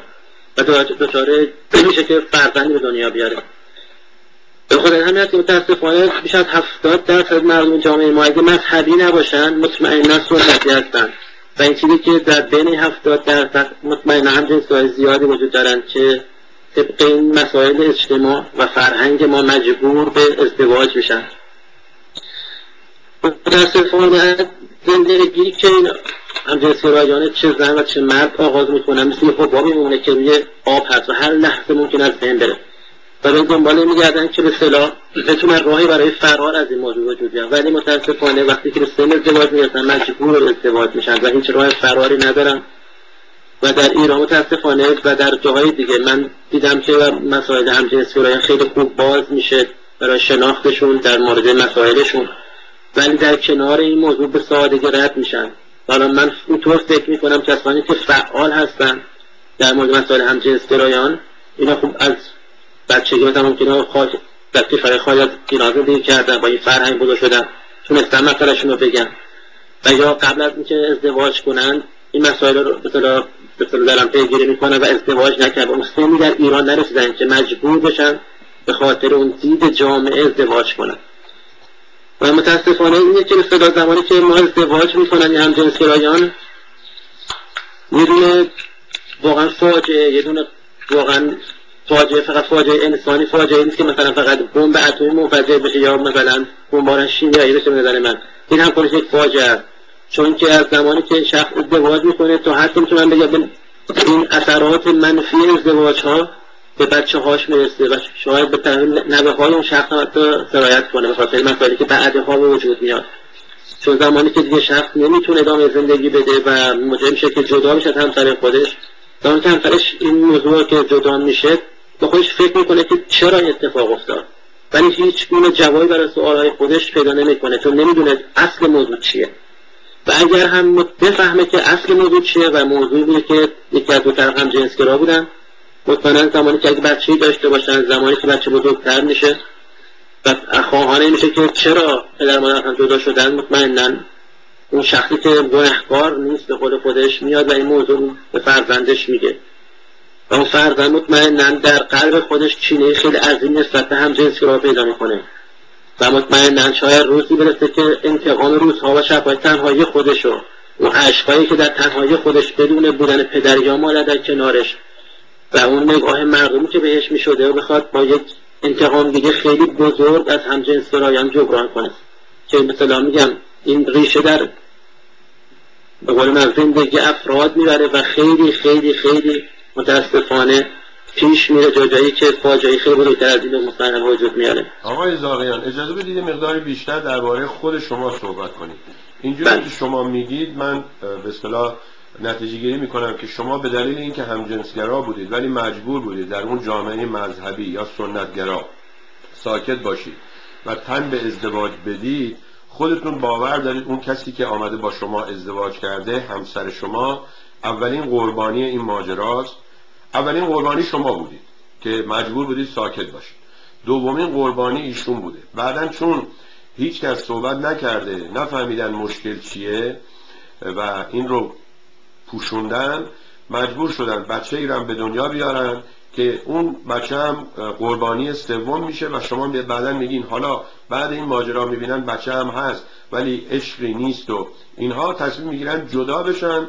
حالا از اینجا مشکلات اون بچه تقویت میشه و صورت به اصطلاح زیادتر میشه و بعد اثراتش برمیگرده تو جامعه. تا اینجا رو من درست فهمیدم؟ بله بله صد درصد صد درصد. بله من حالا پیشنهاد شما امروز قرن 21 در ایرانی که من تا اونجایی که خوندم و می‌دونم می‌بینم که یه مقداری راحتتر از حتی کشورهای پیشرفته دنیا با این موضوع برخورد می‌کنن. حالا نمی‌دونم فقط به عنوان تبلیغات این کارو می‌کنن یا چی. شما پیشنهادتون به دیگران که تا امروز ساکت موندن و هنوز قربانی دوم و سوم اینها رو به این جمع خودشون اضافه نکردن چیه؟ اینه که بیان آشکار کنن مشکلاتشون رو بگن بعد اون مسئله ای که خانواده ها ممکنه قبولشون نکنن و به اصطلاح از خودشون اینها رو برونن اینا اونا رو چجوری؟ شما چه چه چه درسی به اینا می‌دید؟ چون ما می‌دونیم یه نفر که مثلا یه اشتباهی کرده می‌تونه اون اشتباه خودش رو برای دیگران بگه و از اشتباه این دیگران تجربه بگیرن و اون اشتباه تکرار نشه. شما چی دارید برای اونهایی که ازدواج نکردن ولی خانواده هاشون بهشون میگن باید ازدواج کنید؟ یعنی یه مقداری در این مورد بیشتر صحبت کنید. بله. به اصطلاح ببینید زمانی که به اصطلاح این موارد پیش میاد تو جامعه ما خب من نمی‌دونم شما روی چه معیاری فرمودین که با برخورد خوب می‌کنن. چون اگر نگاه کنیم به آمار اعدام ها می‌بینید که در تمام اعدام هایی در ایران صورت می‌گیره چند نفر هم جنس هم هستن بدون استثنا. و اینکه تبلیغات در بله این به خاطر مسائل تغییر جنسیتی چرا؟ تبلیغات می‌کنه و آزاد هست ولی هم جنس گرایی چون که با واژه زشت هم جنس باز در ایران تلق برابر قرار می‌گیره همچنان مورد غضب مذهبیون و جامعه هستش. و اینکه اینکه چه کسی من بخوام درسی بدم من به عنوان یه تجربه که خودم داشتم دارم صحبت می‌کنم. این چیزی نیست که یک شب بشه که به اون درس پیدا کرد. این زمان می‌خواد و به قول مانی عزیز که یکی از دوستای خیلی صمیمی من در بریتانیا و با شما هم مصاحبه داشت باید گام به گام جلو بریم. منم با استفاده از اصطلاح تجربه ایشون هست که به بعد تونستم به این سری مسائل دیگه هم به جمع کنم و شروع به این اقدام کنم. ولی اصطلاح میشه قدم به قدم و گام به گام جلو بریم. ولی اینکه من بخوام الان راهکاری بگم که مستقیما می‌تونه مشکلشون رو حل کنم مطمئن نمی‌تونم. فقط اینه که تا اونجا که می‌تونن حداقل به خانواده نزدیک خودشون پدر و مادر خودشون که هرچند می‌دونم خیلی سخته. چون من خودم در این محله بودم از زمانی که این طرفم اومدم و این صحبت کردم طرف خانواده خودم تحت شدم حتی. ولی می‌دونم که بالاخره مشاورین هستن. کسانی هستن در هر فامیلی که مورد اعتماد همه اشخاص هستن. می‌تونن به صورت خیلی مخفیانه با اون صحبت کنن و از اونا کمک بخوان. که لاقل اون قربانی های دوم و سوم که اولی که هستش. قربانی جامعه هستش اون شخص. قربانی نوع نگاه و نوع تفکر دارن 400 ساله ایرانی هست و اسلامی هست که اون هستش. و قربانی دوم و سوم نیاد در با کار. بله. من ممنونم از شما. اجازه بدید من خودم تحصیل کنم. شما درست گفتید من منظورم اون اونهایی بود که تغییر جنسیت میدن. دیدیم خبرها و اینها رو که دولت حتی بهشون کمک می‌کنه. ولی شما میگید همچنین دارن با به اصطلاح کسانی که به عنوان همجنسگرا در جامعه معرفی میشن و خودشون رو چیز می‌کنن اونها بدرفتاری می‌کنن حتی در خانواده ها و میگید خیلی از اینایی هم که اعدام میشن به اصطلاح هم هستن. درسته؟ بله بله ولی متاسفانه به خاطر اون که ناموس مطرح میشه دادگاهشون غیر علنیه. زمانی هم که به صلاح این حکم اعدام طرف اون شخص خونده میشه در پیش همه یا افتاده فل ارز محاربه و مسائل دیگه بازگو می‌کنن نمیان مسئله اصلی که آقا به خاطر هم جنس کرایی داره این شخص اعدام میشه. و همین به صلاح زیر پوشش قرار می‌گیره. حتی خانواده ها من حتی متاسفانه یکی از آشنایی ما بودش خانواده ای که صلاح فرزندش به خاطر این جرم محاکمه شد و بعد که به گفتیم خب می‌تونیم اعتراض بزنید روی این موضوع می‌تونیم بررسی کنیم وکیل بهتری بگیرید گفتن که اصلا بحثشو نکنید. چه بدایی که این نقطه لنگ و اون نقطه سیاه نجوم پاک بشه. اصلا خانواده حتی آدمش اعتراض کنن روی این موضوع. و چه بسیاری خانواده هستن که حتی خاطر حیف آبروی خودشون حاضر نیستن. در مورد حکم اعدام عزیزترین کسشون که پاره تنشون هستن اعتراض کنن و سر به قوانین و مذهب و رسومان جامعه میسپارن یعنی حاضرن فرزندشون قربانی بشه ولی مسئله اونجا خط بشه و سرپوش بذارن روی این ماجرا. بله بله میگم من به با الان بعد بعدی که صلاح رفیقان شروع جمعیت ایران بسیار تماس دارم به صلاح بچه‌هایی که وارد میشن چه گروه چه مسائلی کسانی که در گروه های مختلف هم ایرانی هستن مسائلی مطرح می‌کنن. حتی بعد از دوستان متاسفانه به خاطر فرار از این موضوع پیغام میدن داخل من. مثلا اون شبکه های فیسبوکی که مال هم جنسگرا یا هر پسر یا دخترها که خسته شدم از نوع نگاه مردم. آیا پسر یا دختر هم جنسگرایی هست؟ که به خاطر اینکه از زیر بار فشار خانوادهش خارج بشه بیاد با من ازدواج کنه در که من هم جنسگرا هستم. فقط به خاطر اینکه قلفی بعد دهن فامیل بزنیم ما. آها یعنی یه حرکت یه حرکت به یه نوعی زیرزمینی آغاز بله بله. هم دیگر خب اجازه من این سوال از شما کنم شما که الان در کشورهای آزاد هستید و می‌تونید فعالیت کنید بله. چه سازمان مثلا حقوق بشر سازمان ملل حتی من شنیدم شماها تماس هایم می‌گیرید با دفتر آقای رضا پهلوی. اینها چه کارهایی برای شما انجام دادن؟ امیدی دارید به اینها یا اونها هم به اصطلاح به یه نوعی خودداری می‌کنن که با این مسئله درگیر بشن؟ بله خوشبختانه به صلاح گروه هایی که هستن مثل گروه RFSL که حامی اصلی هم جنس رایان در تمام دنیا هستش. مسائل حقوق بشری مثل اردان هایی هستن که اینها می‌تونن کمک کنند ولی میگن که شما هم جنسی رای بیان در کشورهای ما ما شما حمایت می‌کنیم. ولی ما در ایران در چارچوب قوانین ایران نمی‌تونیم هیچ کمکی به شما بکنیم.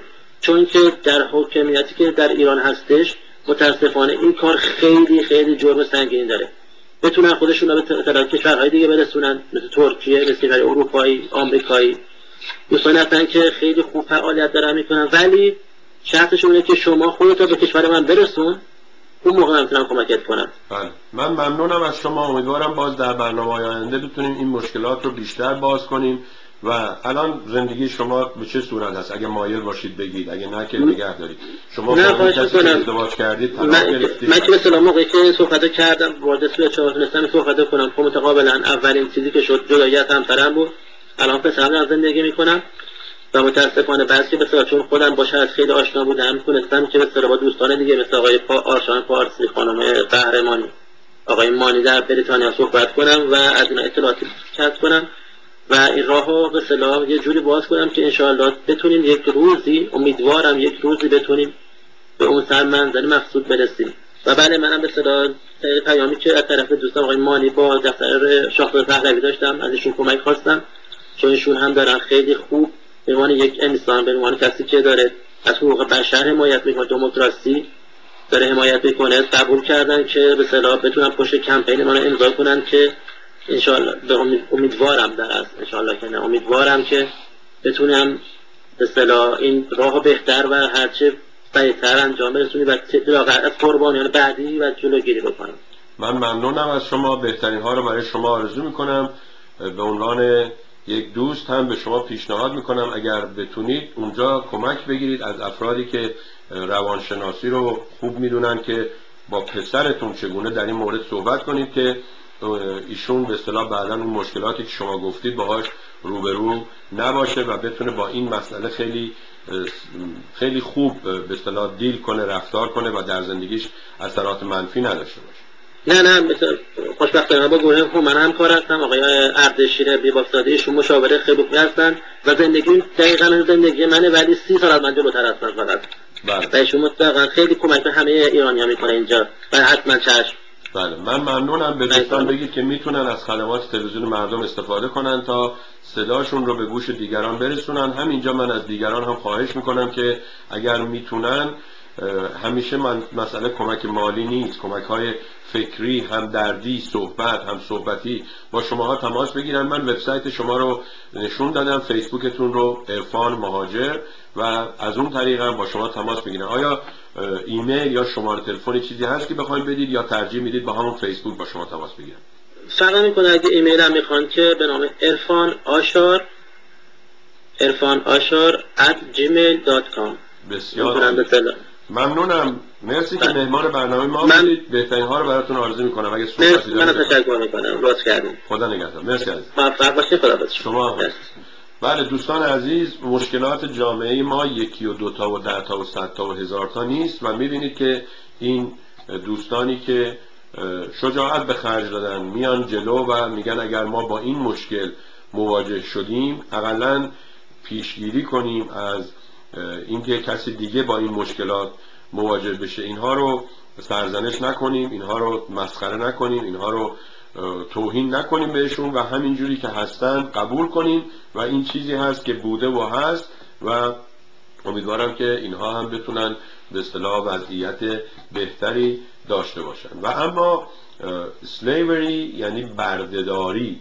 حالا می‌دونید که بردهداری انواع مختلف داره. قدیما به این صورت بوده که می‌رفتن از اینجا آفریقا با زحمت و اینها ور می داشتن اینها رو با کشتی می آوردن الان عوض شده و نوعش به این صورت شده که خود اون بنده خداها بلند میشن با دست خودشون با پای خودشون با خرج خودشون میان و میفتن توی دام این بردهداری و به اصطلاح سودجویی تبهکاران از این تجارت. رادیو فردا دوشنبه 22 مه امروز که 14 اکتبر 2013 است. مقاله ای داره نوشته جهان بعد به اصطلاح تیترش هست یا جهان بردهداری یا جهان بردهداری پرسودترین تجارت تبهکاران در اروپا. می‌بینید که اینجا عکس خانم هایی را نشون میدن که اون بیرون برف و سرماست و اینها توی ویترین وایسادن. عین شیعی که روشون نورهای مختلف میندازن اینجا نور سبز و قرمز و اینها روی اینها انداختن و اینها مجبورن. این کلمه ای رو که ما یاد گرفته بودیم پوز توی ایران می‌گفتن پوز دادن یعنی ژست گرفتن هست. باید ژست های خاصی بگیرن و مشتری به اصطلاح برای خودشون جلب کنن. اجازه بدید من یه چند تا پاراگراف این چیز رو برای شما بخونم و میگه که تازه ترین گزارش سازمان ملل از بهره کشی از انسانها و بردهداری نوین در اروپا با خوشبینی همراه نیست.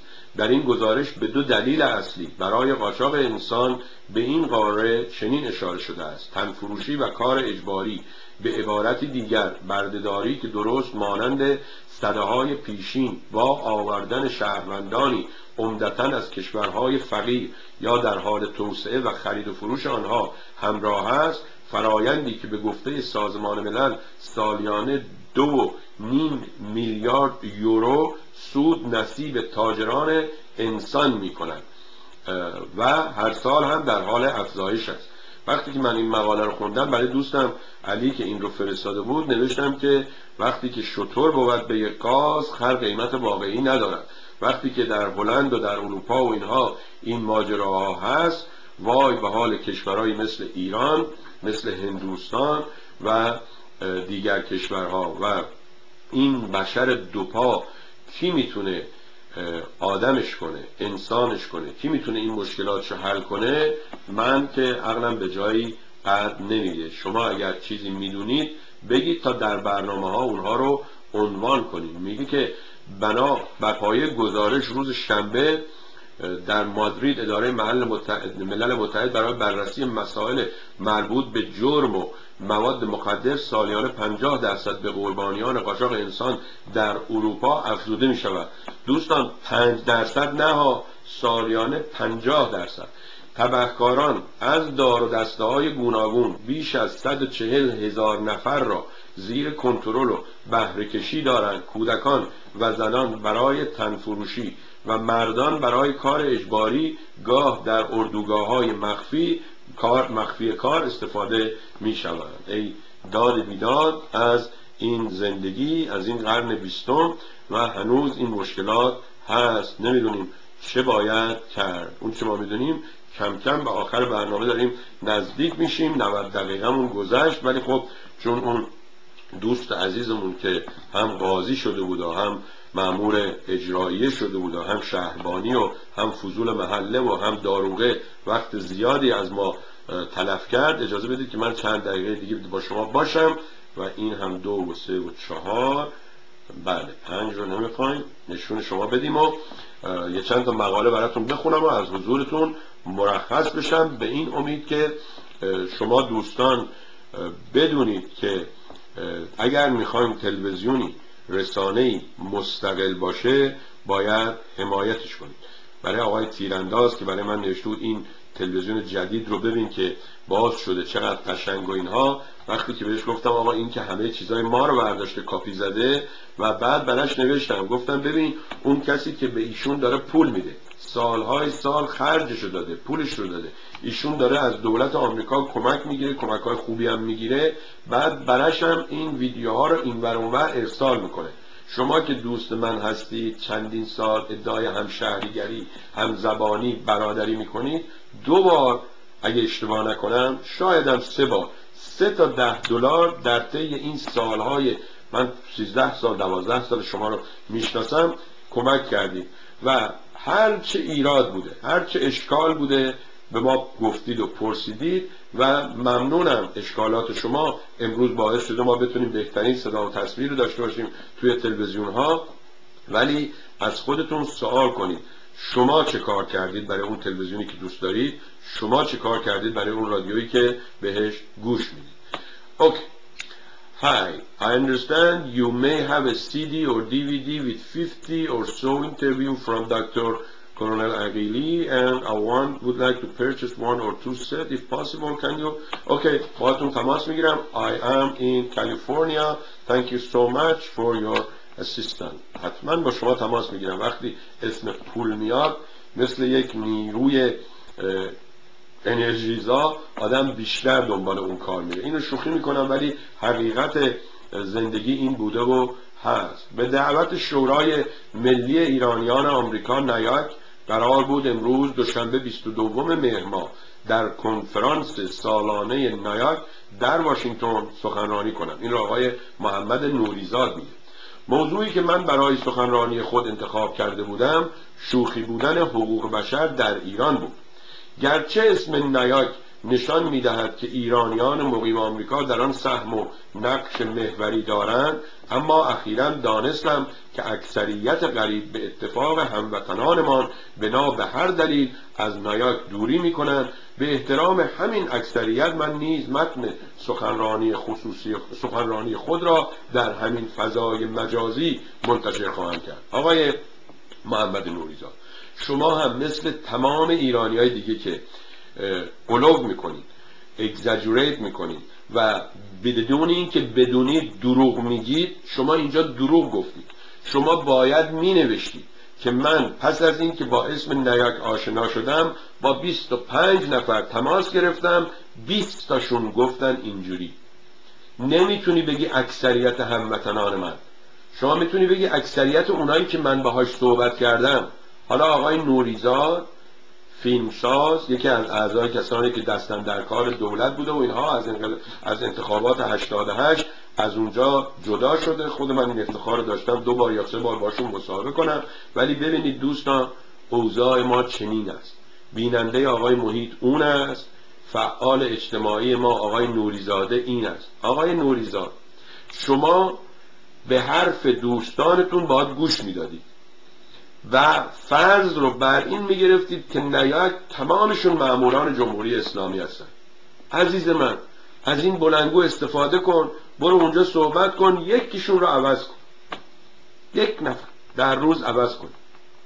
من چرا از خانم نیر تشکر کردم؟ چرا از آقای حامی تشکر کردم؟ اینا انسانهایی هستن که نشون دادن می‌فهمن.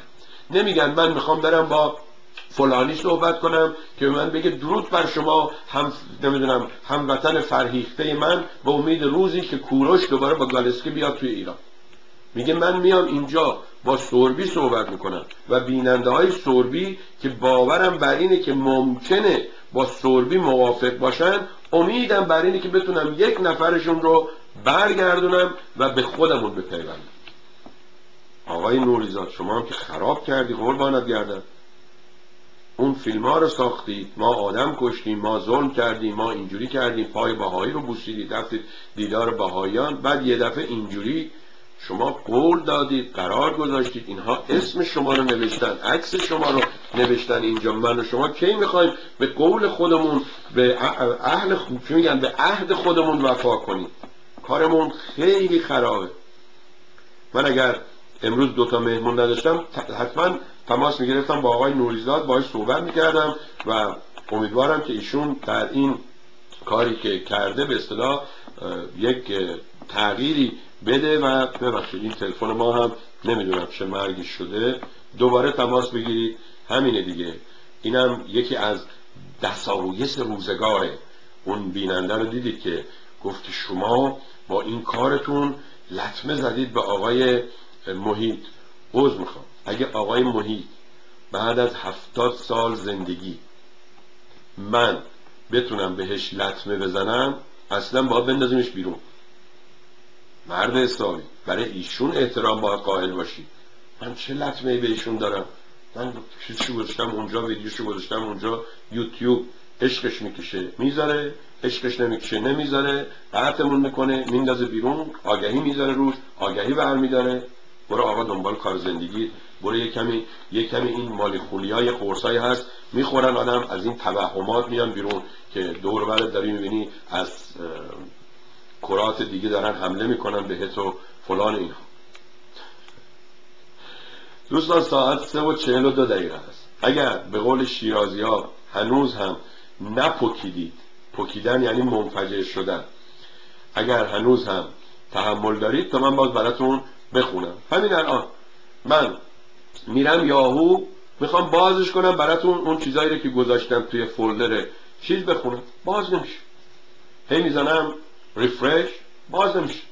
شکار کنم؟ ما اون سرویس هایی رو که پول میدیم ماهیانه اینها تعهد دارن به ما سرویس بدن بعض وقتا خراب میشه. آقا برق میره. زنگ می‌زنی میگی برق رفته. بله آدم های خوبی هم هستن میگن که بله متاسفیم داریم روش کار می‌کنیم. دیگه نمیگم که اینها به سربی لطمه زدن. بیا بیننده من اگر آدم باشن می‌فهمن که این اشکالات پیش میاد. اگرم آدم نباشن من نمی‌خوام اصلا باشن. برن دنبال کارشون. بیننده آقای محیطم اگر آدم باشن شعور داشته باشن می‌فهمن. این ویدیو روی یوتیوب هست روی فیسبوک خودشون هست روی دانشجو میاد میاد ببینن دیگه اینجوری هم ور نمیدارن. دنیا که آخر نشده که. که مش آدم low tech حالا دیگه low life هم شدیم. low tech یعنی کسایی که دانش تکنولوژی کم دارن. low life یعنی آدم های پس فطرت از این ور بلد نیستیم. از اون ور همین الان تلفنی که من داشتم صحبت می‌کردم این شماره ای که زنگ زد وصل نشد. چه کارش کنم؟ خب وصل نمیشه. نه بیا. حالا شد. اینجوریه. دلش بخواد میشه دلش بخواد دلش نخواد نمیشه. کارش هم من نمی‌تونم بکنم. خب. بله. ساعت سه و چل چاره بریم دیگه. یک بریکی هم من به شما بدم. یه استراحتی یه تنفسی از این مزخرفاتی که من گفتم مغزتون رو به اصطلاح آزاد کنید. دیگه حالا روم نمیشه بگم تا بعد آماده بشید برای مزخرفات آقای حسن اجلالی تا بعد بتونید سر دل استراحت بشینید صحبت آقای اجلالی گوش کنید. در طی برنامه آقای اجلالی تلفنش باز هست شماره تلفنش روی صفحه هست ایمیل هست. نمی‌دونم توی برنامه هم ایمیل رو جواب میده یا نه یا فقط بعد از به اصطلاح برنامه ها پاسخگو هستن. در هر صورت همین امکاناتی که ما داریم شما خودتون دارید می‌بینید. الان یه نفر نشود آقا دیگه تلویزیون اندیشه رو شیش نفرم نگاه نمی‌کنه. گفتم نه اونم درست نیست. آقایی به من زنگ زد. گفت آقا ما یه آگهی دادیم به تلویزیون و گفته که من فقط لب به جنبونم دیویس نفر میان تو اون برنامه. گفت آقا پنج نفرم از اونجا نیومد. گفتم عزیز من اونا دروغ میگن. من به شما میگم اگر یه تومن بدی من میرم تو این آفتابه. شما عقلت کجا رفته که این بدن 220 پوندی چجوری می‌خواد بره تو این آفتابه؟ ولی ما هممون پولا رو دادیم و قربانیش هم شدیم. سربی هستم بفرمایید. سربی من امین هستم از ایران. امین عزیزم بفرمایید. از کنم که به نظر من شما به جایی که یاهو استفاده کنید یه جیمیل برای خودتون درست کنید خودتون راحت کنید. چشم. آخه می‌دونی مشکل من چیه؟ من بیش از سه هزار تا اسم روی یاهو دارم. جیمیل هم دارم usa.sorbi@gmail.com ولی منتقل کردنش و اینها اتفاقا خوب شد. شما گفتی اگه کسی هم یه برنامه ای رو می‌تونه یا به ما بده یا برای تلویزیون مردم بخره که ما بتونیم ایمیل ها رو برای همه لیستمون بفرستیم. هی نخواهیم 50 تا 50 تا 100 تا 100 تا. اونم تا دو تا 50 تا میفرستیم می‌نویسه suspicious activity. یعنی یاهو هم مثل این دوستمون مالی خولیا شده. یعنی میگه من فکر می‌کنم حالا بالاخره شما از جیمیل چون بعد چون یاهو خیلی دیگه به نظر سیستم قدیمی داره و خیلی از کسانی که الان حتی تو ایران هم هستن دیگه از جیمیل استفاده آدمایی که بیشتر قدیمی کار می‌خوان بکنن یاهو استفاده این همین جیمیل بهتر هست. باشه عزیزم انشالله شما بیا اینجا یک کمی به ما کمک کنی از لحاظ این تکنولوژی اینا. می‌بینم که واردی خیلی واردی. مرسی. در خدمت شما هستیم. و خواهش کنم موفق باشید. خدا نگهدار. به امید دیدارت. مرسی عزیز. خدا بله. دوستمون امین چند مدت پیش اینجا بود اتفاقا همین نزدیکای ما هم زندگی می‌کرد. ولی فرصتی پیش نیامد تا ما همدیگر ملاقات کنیم.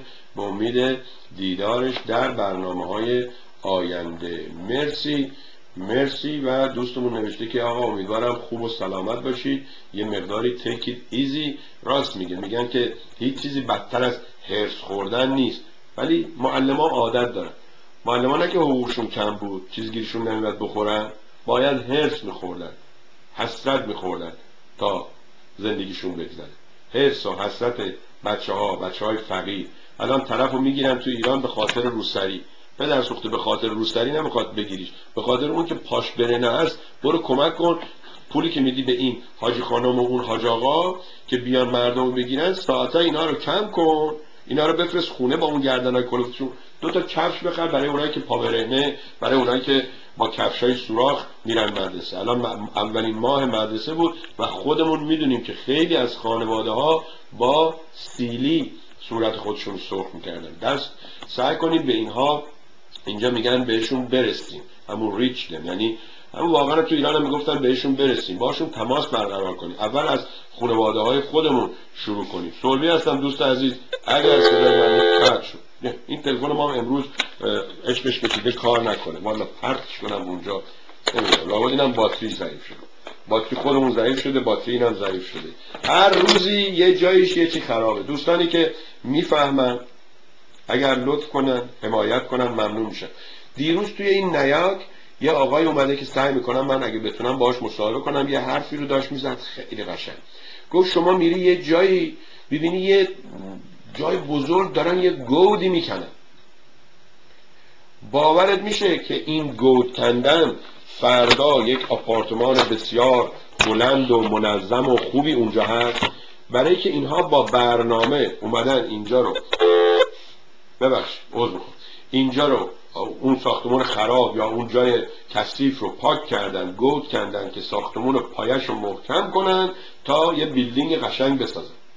بعد داشت یاد می‌داد به دیگران. میگو آقا این grassroot این سازمان های ریشه‌ای بنیادی اصلی دو نفر سه نفر چهار نفر پنج نفر که درست می‌کنید اول پی این باشید که بگردید اسپانسر پیدا کنید. ما یکی از مشکلاتمون اینه که اول میایم منار رو میدوزیم بعد این منار همینجوری تو بغلمون می‌خوایم دنبال حالا یه سوراخی بگردیم. چاشو نکندیم. ببخشیدا بالاخره اینو یا تو سوراخ خودمون یا تو سوراخ دوستامون می‌خوایم بچپونیم. نمیریم. تغییر کنیم. بگیم آقای داریوش عزیز مرسی. چند سال با ما بودی اسپانسر بودی ازت تشکر می‌کنم. آقای حسن شما هم میای اسپانسر بشی که من 15 نفر صد نفر داشته باشم که بدونم آقا اینا 100 تا 25 دلار 100 تا 30 دلار میدن که میشه مای 3000 دلار که ما اینجوری نگران نباشیم. نداریم اینو. بلد نیستیم. همینجوری حلاللی شلاللی آمدیم هر کدوم یکی تلویزیون زدیم. بعضی همون زرنگیم این ور پول گرفتیم واردیم. بعضی ها مثل این سوربی خلوچل آمده اینجا مجاهد میاد بهش وقت میده. نمی‌دونم غیر مجاهد میاد بهش وقت میده. دیشب من در همین مجلس طرف میگو آقا چه کار قشنگی شما کردی به این مجاهدین جدا شده. وقت میدی که این بنده خدا بیان صحبت کنن. گفتم قربونت برم من از جمعه تا یک ساعت پیش داشتم فوش میخوردم. سوربی هستم دوست از شما روی خط هستید. بفرمایید. سلام. سلام بر تو ای دوست ای هموطن. سلامی که خیزد ز جان و ز تن. خیلی خوشحالم صدای شما رو شنیدم. شما حسن ختام برنامه امروز ما باشید. بفرمایید. به به به. جناب سربی. می‌خواستم که دلم می‌خواست اون روزی که با آقای نوریزاد صحبت کردین میپرسیدین ازش که اون نامه هایی که آقای می‌داد بیرون چجوری می‌داد بیرون؟ اونجا که قلم و کاغذ به کسی نمیدن که. هیچی با آدم نمیدن که. پس چطور شد چطور که اینجا بعدم یه چیز دیگه ایشون خارج از کشورن. والا نمی‌دونم. همین همین سوال یه دوست دیگه از من کرد. گفت آقا چجوریه؟ این اومده آمریکا. گفتم والا من فکر نمی کنم فکر کنم با اسکایپ یا چیز می‌خواستن باهاش مصاحبه کنن. ضمنا اگر من و شما ایشون رو ببینیم تو آمریکا تعجب می‌کنیم نمی‌کنیم چون نه آخون طبی ما... نه ما با طبی رو دیدیم خب گنجی رو دیدیم اینا رو دیدیم فخرآور رو دیدیم. آفرین. یعنی یه سیستمیه. که آخون قشنگ. تعجبی نمی کنم ولی به چیز به قول شما قسم حضرت عباس رو قبول بکنیم یا دام خروس رو. نمی‌دونم. منم مشکلم همینه. یعنی اینا قشنگی شده دیگه یه سیستم مرحله هست که شما بچه رو میفرستی دبستان. میره شیشم رو می‌گیره بعد میره مدرسه میره پنجم رو می‌گیره. بعد میره مدرسه راهنمایی بعد میره اینا هم اینجوری شدن. میان یه صحبتی می‌کنن. سیستماتیک سیستماتیک کار می‌کنن. منظم و سیستماتیک. بله. یک دنیا از برنامهتون ممنون هستن. کار شما درسته حرفاتونم درسته. و موجود نازنینی هست. من از شما ممنونم. خوشحالم که دوستانی مثل شما میان و یه مقداری به قول معروف ما رو از اون عصبانیت و از اون بدذات بودن نجات میدن. مرسی عزیزم. قربونتون برم. خدا حافظ خدا نگهدارتون باش. مرسی که روز من ساختید. مرسی.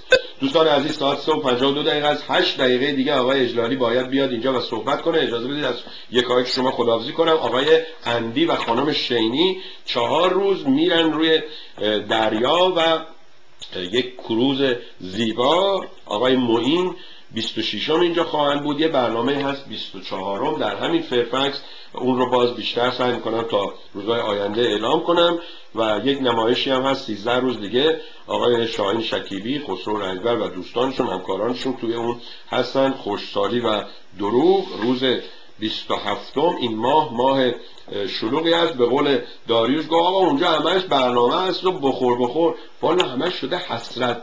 بخور بخور. همین شما خیالت راحت که اونجا هستی و به قولن توی تگزاس هر وقت گرم شد میپری توی استر. همینجا از یکایی شما ممنونم که با من بودید با درد دلهای من گوش دادید و ازتون متشکر میشم. اگر تلویزیون مردم رو به دیگران هم معرفی کنید. روز روزگار بر شما نازنینان خوش به امید دیدارتون چهارشنبه که برنامه آقای عزیزان آقای شمستری آقای هروی و سوربی با مردم هم هست. چند دقیقه دیگه با آقای حسن اجلالی کارشناس ارشد هستیم که ایشون هوادار جمهوری اسلامی و حکومت آقای احمدی نژاد حالا هم حکومت آقای حسن روحانی بوده و هست. شما هم می‌تونید صحبت کنید. هوادار می‌بینید. دیگه ما اینجا اونی که همجنسگرا هست اونی که هر کسی که بخواد صحبت کنه اینجا می‌تونه صحبت کنه. ولی اگه کسی خواست گردن کلفتی کنه و یاقی بازی در بیاره و شعبون بیمخ بازی در بیاره جای شعبون بیمخا زیر خاک بوده و هست و خواهد بود. مرسی. مرسی. مرسی.